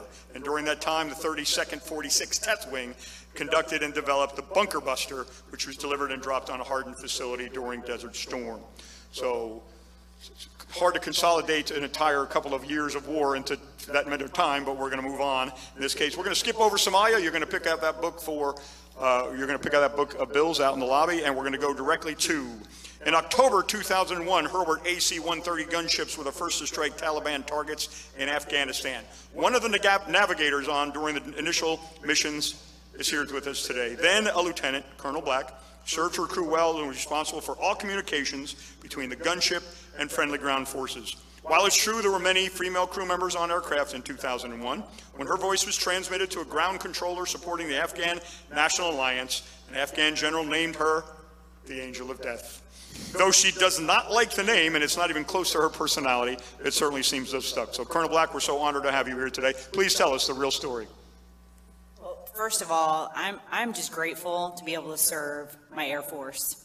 I am proud to be a member of AFSOC and humbled to be able to sit on the stage and in a room full of some incredible heroes. So thanks for giving me the opportunity to, to tell a story about There I Was. Uh, it was uh, 2001, and we were part, I was part of the 16th Special Operations Squadron, the AC-130H Spectre gunship. We, uh, we arrived with three airplanes and four crews. And when we arrived uh, one evening in Karshi Khanabad, Uzbekistan, uh, Uzbekistan, a country to the north, a staff car didn't greet us, but our commander did, and did put us in crew rest, so not much has changed. 18 hours later, we found ourselves overhead our target. But prior to getting there, we were rushed, pushed into our ops tent, and given our mission briefing. We were given a call sign, we were given a frequency, and a location in grid. The chaplain prayed for warmth because we were a unpressurized aircraft. He prayed for lots of targets, and he prayed for safety. Our lawyer, our JAG, came in and said, don't kill women and children, don't shoot mosques, and we'll sort the rest out later. The mission preparation was a cardboard box full of charts that we were supposed to sort through to figure out how to get to the objective area. So as a navigator, as mentioned, I'm responsible for getting the, the crew from point A to point B, but also the tactical communications. So as the pilots were starting the aircraft, starting the engines, I had the chart out, figuring out how we were going to get from Uzbekistan to Afghanistan, find an area to sight in our weapons or tweak the guns, and then get to the objective. And we did just that. About 30 minute flight down south, found some sand dunes, at least that's what it said on the chart, sighted in our weapons, and proceeded off to the east in the, in the vicinity of Kunduz. And that's where we were in contact with ODA 595, otherwise known as the Horse Soldiers, more importantly, U.S. Air Force Combat Controller Bart Decker. So when I was able to speak with him on the radio to get the situation report, he painted the, he painted the scene. And he told us to start hunting for armor. You see, in Afghanistan in 2001, the country was dark. And if anybody was out moving at night, they were up to no good. So we were searching in the vicinity of Kunduz with those that had flown in the days of Panama and me on my first combat mission, having just landed less than 24 hours prior. We did find some multiple launch rocket systems. We found some armored vehicles and were able to destroy them. And while we were engaging those targets, Bart Decker pops up on the radio and asks us to put eyes on a vehicle moving towards their direction. You know, the first job in the gunship community is to identify the friendlies, and we had done that when we moved into the area. So we identified where our friendlies were at, went back to that vehicle who had lights on driving down a road. They essentially cleared us to engage, and as we were going through the motions inside our aircraft to engage that vehicle, it pulled into a complex in the middle of nowhere. And at that building were multiple vehicles and multiple adult males. I, I relayed on the radio what we were seeing as a part of my job. And during that time, this ODA team and, and, uh, and Bart Decker were co-located with General Dostum and the Northern Alliance, those that you've seen in pictures riding on horseback through northern Afghanistan. He could not believe that he was hearing a woman on the radio. And in fact, asked our teammates, is that, is that a woman? In which they replied, as a matter of fact, it is. We continued our mission as we were, as I was painting the picture of all the, uh, the movement around the, the objective building, or the new objective building, we heard standby, and then we heard, those who confirmed Taliban, you're cleared hot. First combat mission, I look over at the crusty Lieutenant Colonel, Fire Control Officer Michael Radford sitting next to me. Went, this is combat. So I was pretty darn excited to, uh, to really deliver some payback to the enemy who had wreaked havoc on our land on September 11th. So we proceeded to prosecute the enemy. Uh, we engaged a vehicle that was parked right outside the building, and dozens upon dozens of adult males poured out of it. We ended up shooting 400 rounds of 40 and 100 rounds of 105 that had been floor loaded inside the aircraft. But during that time, and as we were trying to utilize every round and make it count, we were using the ISLID, which is a, under night vision goggles, is a high-powered laser pointer for us, for our sorting and tracking purposes. Well, during that portion of our mission, then General Dostum had access to the night vision devices from our team and, and looked at it and looked at the team and asked if it was a death ray. So the team members looked at each other and said, as a matter of fact, it is. It is a death ray. And he's, so as this story is evolving, he's, America is so determined they bring their women to kill Taliban. And he knew, he had been certain that America had developed a death ray. And it was on board Spectre gunship that night as I'm again relaying what's unfolding in front of us uh, inside our, our, our sensors, General Dostum gets on his walkie-talkie and calls the enemy that we're engaging and says, in so many words, you're so pathetic, you need to surrender now, American women are killing you, in fact, the angel of death is raining death and destruction, surrender now. As a gunship member on the, on, on the airplane, we have no idea this is happening. We continue to execute our mission. We run out of ammunition. We're bingo fuel, so just enough gas to get back to base. We depart as the next AC-130 is coming on station. For us, it was an opportunity to remove hundreds of enemy from the battlefield and protect our Eagles, uh, and they, they got to continue their mission. It wasn't until weeks later that that ODA team had come back up to K2 in uh, Karshi Khanabad and told us the story of what had unfolded. and they handed me an AK-47 from General Dostum because that next morning after that first mission, hundreds of them absolutely did surrender because of the, of the ability of the AC-130 and its crew members to rain, to rain some hate from above. That, that, uh, that, that AK-47 is now proudly hung in the 16th Special Operations Squadron at Cannon Air Force Base, uh, and, and a proud part of their story. You know, and, that, and that's uh, the ability to disgrace and kind of poke at the enemy. I had no idea that that was an effect of being a part of an incredible crew. Uh, but the story doesn't stop there. In the weeks to follow, General Dostum took the idea, the, the, the premise that America allows their women to go into combat, and he used it as a burqa, at a burqa unveiling ceremony for young Afghan girls and women, and said, if you continue to fight for your freedoms, you will one day have the freedoms that America offers their young girls. So again, just trying to do my part as a crew member, a, part, a part of an incredible crew, having no idea the second and third order effects we were able to have on so many lives. Proud to have been a part of it, humbled to share my little piece of AFSOC history with all of you. Thank you.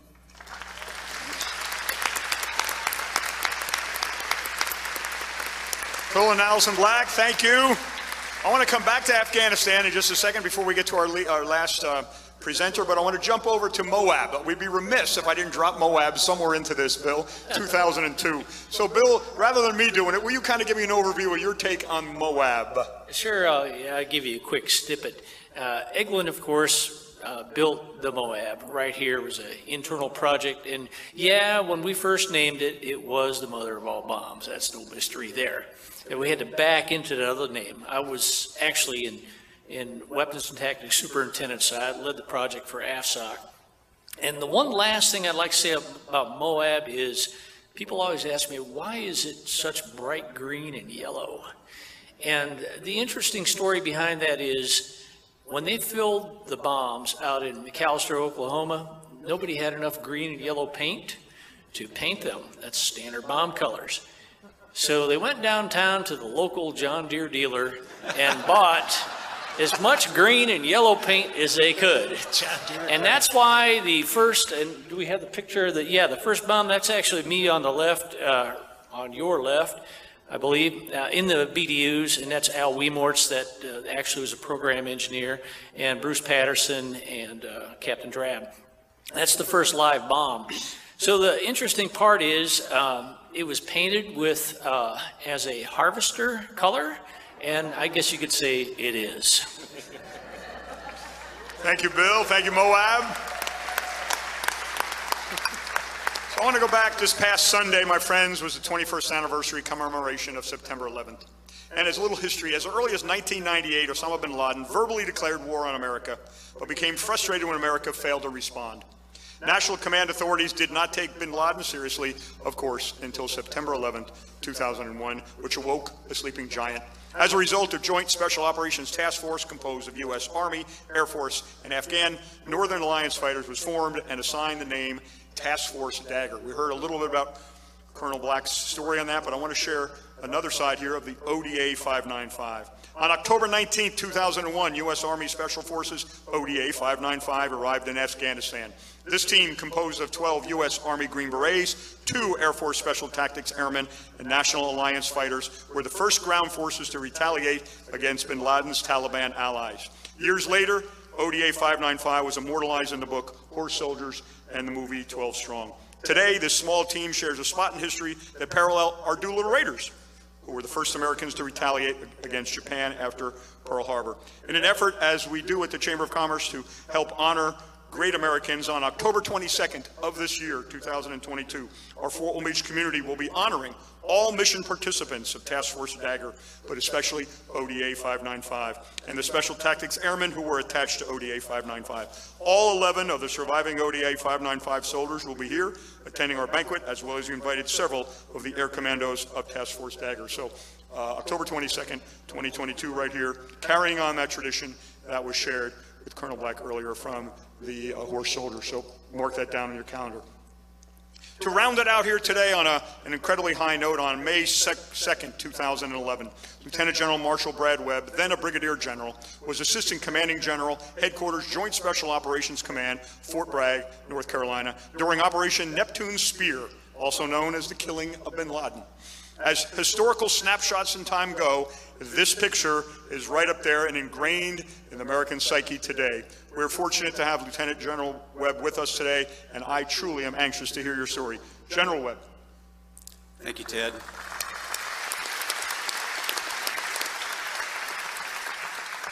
So, ladies and gentlemen, I'll get to the little kind of the behind the scenes of this picture in a second. But first, uh, congratulations. I'm the number nine batter in the lineup. You've made it. Well done.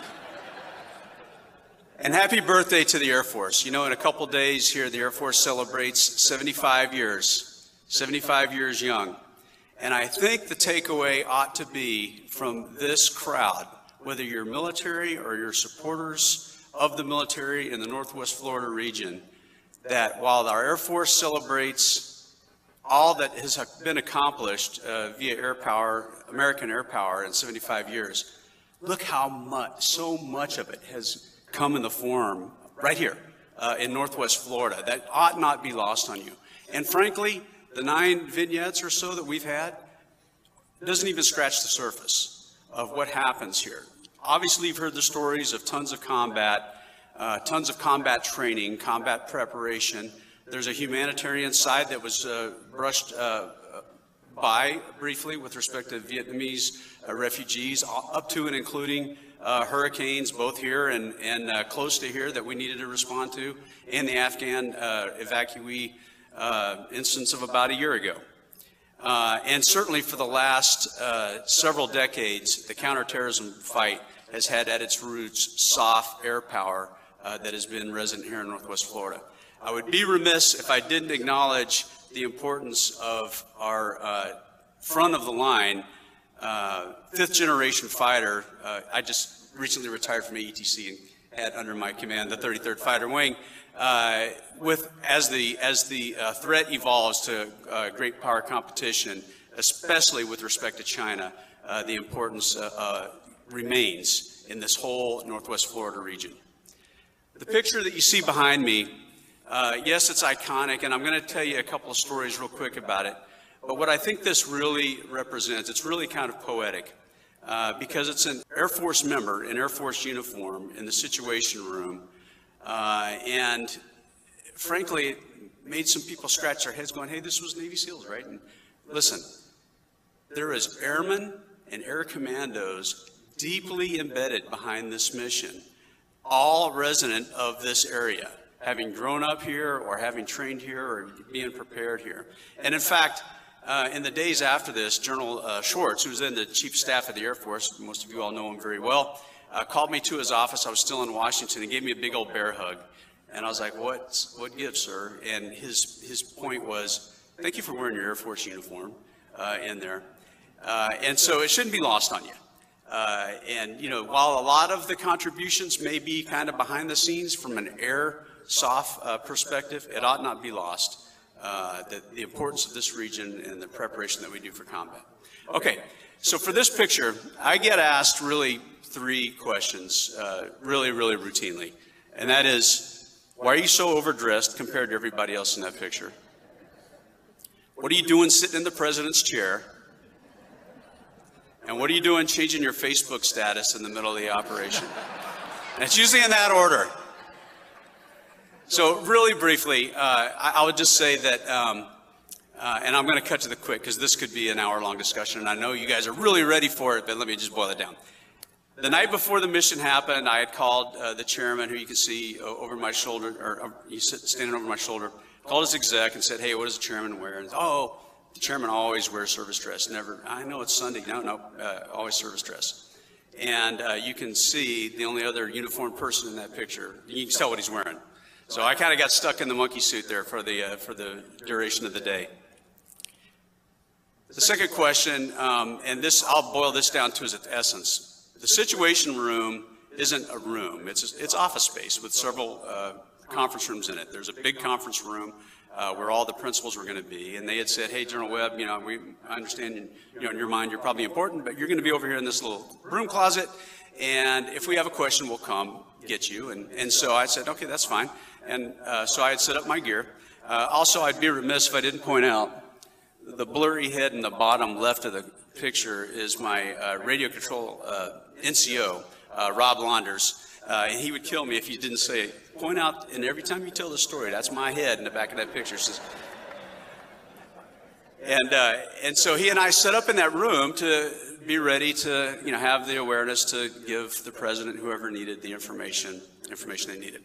And so because everybody was in the other room across the hall, the big one, I sat at the end of the table so I could obviously be close to the door and uh, be responsive if somebody called for me. But it's completely obvious what was going to happen because I had all the information. Uh, and so over time, it kind of flooded in. It started with uh, then Vice President Biden and then Secretary of State Clinton. And, uh, and then at some point, um, you know, everybody was in the room. Uh, up to and including at H hour, as the helicopters approached the, uh, uh, the site, President Obama came in the room. And to my credit, and it's on NBC's website, you can find him interview. He says, and because that's true, and I get questioned about this, I stood up to give him my chair, okay? And he kind of maneuvered behind me, pushed on my shoulders, and put me down. And he said, "No, no, you got this. I'm going to stand over here or sit over in the corner." And there really wasn't a whole lot of time to have a just argument about it. So I was like, "Whatever," and sat back down and started doing my job. So, the, by the way, the White House hates me for this because uh, that picture, you know, uh, they hate that. Uh, I actually got uh, an opportunity to do another, uh, we had another mission about six months later, uh, a different one, just Jessica Buchanan mission, you may recall, uh, where that same kind of thing happened, and I made sure, dang sure I wasn't sitting in that chair. And of course, the last thing is about the, fa- of course, I wasn't doing Facebook. I was actually doing some um, uh, what we call MERC chat or internet chat with, uh, with our teams that were forward, who actually didn't know I was in the White House because when they had left, I was supposed to be at the command center at uh, Fort Bragg. And, uh, and really, I was just getting kind of updates on, uh, on what was happening to relay to the team. I don't know uh, when that picture was taken. I'm not sure. Um, there was, I don't know why Hillary Clinton is yawning or, you know, whatever it is that she happens to be doing there at the moment. Um, the one story that I will, do, will pass on, uh, and, and, then I'll, I'll kind of let it rest, because uh, a little humorous. Um, we got to the uh, site. Uh, we're, you know, obviously the president sat down. There was some commotion. Clearly, the mission wasn't going particularly as planned. And uh, he asked me the question. I knew in my mind, just keep talking. Don't say Desert One. Don't say Black Hawk Down, but just keep talking to him about what's going on. And I'm explaining what he's seeing. And, and uh, he goes, okay, so how long are we supposed to be on the ground? I said, well, Mr. President, uh, we're supposed to be on the ground for 30 minutes. Obviously, we've had a couple complications, but the mission's continuing. Everything's fine. He's like, all right, how long have we been on the ground? I said, Mr. President, we've been on the ground four minutes. So some time goes by. He said, how long have we been on the ground now? I said, well, Mr. President, we've been on the ground seven minutes. He said, I'm never going to make it to 30. I'll, I'll tell you, uh, folks, that uh, it was a it was a surreal moment, uh, but it was a really, really proud day. You can be proud of your nation's leadership uh, because they were focused on the execution of the mission without being intervening uh, into the plan. Uh, I'm honored to have been a part of that, and I, yes, I've made peace with the fact that I was a I was once a air commando warrior like the rest of you, but I'll be known as the combat clerk throughout all time. Um, folks, here uh, in the Northwest Florida region. Um, thank you for your support uh, to our uh, your airmen, uh, America's airmen. Uh, if you can take any lessons uh, from this picture, if it was representative of anything, it is that ethos of there is a way, we find it, and be prepared because these air commandos, these airmen, uh, their number is going to be called one of these times to execute. You just heard nine examples here on the stage. Uh, and don't be found wanting when your moment comes, because it's going to come. Okay? And for you all that support in the Northwest Florida region, thank you. I've been stationed in enough places in, uh, in my career to know that the support that we receive from this community is second to none. And so, Ted, thanks for hosting us today, and happy birthday. Thank you.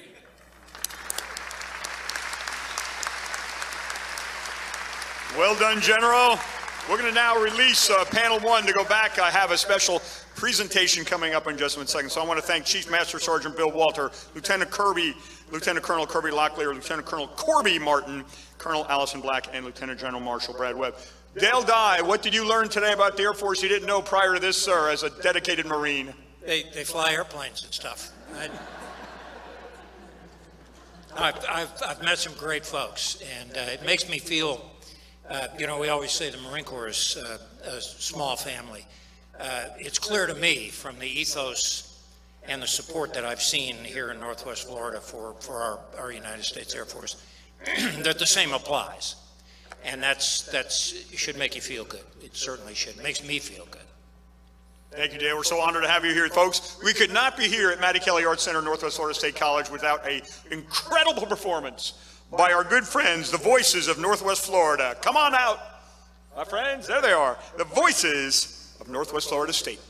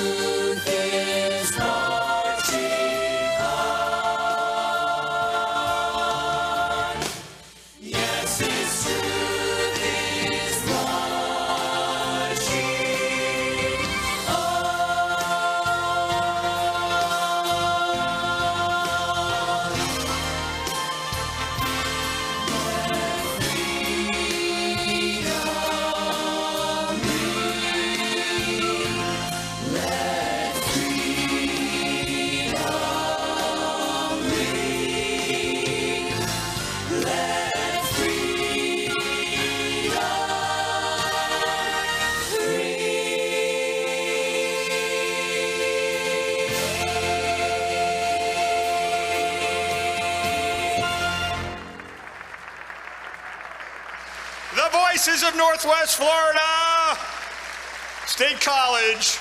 So honored. Folks, you know we're at an Air Force function. You can't leave with what, one more song. So I want you to stay tuned. However, I do want to tell you that this concludes our formal presentation. I want to thank all the panel members who were here who agreed to share their stories. They'll all be in the lobby afterwards, including Dale Dye and Bill Walter have some books uh, for you to purchase, a great souvenir coming up here today. I want to thank our good friends from the Boeing Company, Eglin Federal Credit Union, and Northwest Florida State College for their support. Most of all, our community would like to pass pass along a big heartfelt thank you to past, present, and future members of the U.S. Air Force. And I know that as a member of the Air Force, you are obligated to sing this song and sing every single word, General Life, all four verses of the new version. And if you don't know the words, they'll be right there. Back to the voices of Northwest Florida State College. Here we go, the Air Force song.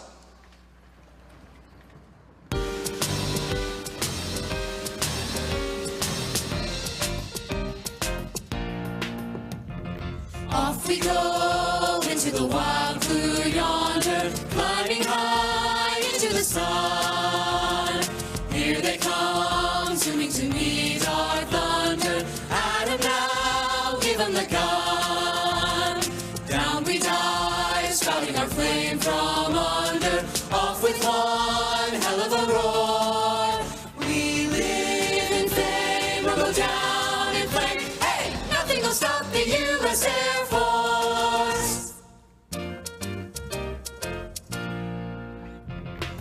Brilliant minds splash a crane of thunder, sent it high into the blue. Valiant hands blasted the world asunder. How they lived, God only knew. God only knew. Boundless souls, dreaming of skies to conquer, gave us wings ever to soar. With skies will stop the U.S. Air Force. Here's a toast to the host of those who love the vastness of the sky. To a friend we send a message of the brave who serve on high. We drink to those who gave their all of old. Then down we roar to score the rainbow's pot of gold. A toast to the host of those we boast, the U.S. Air Force.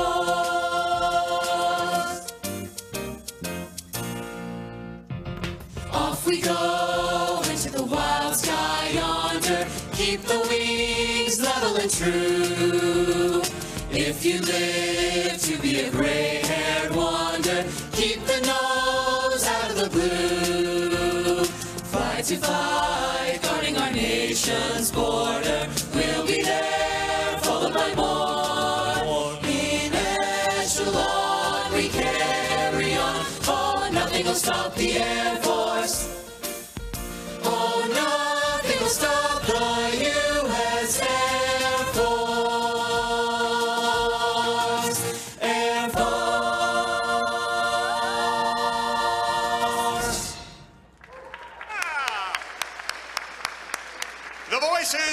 Northwest Florida State College, my friends, happy anniversary. Happy 75th anniversary to U.S. Air Force. Stop by out there and see Dale Dye and Bill Walter and all the gang out there. Thank you so much for coming.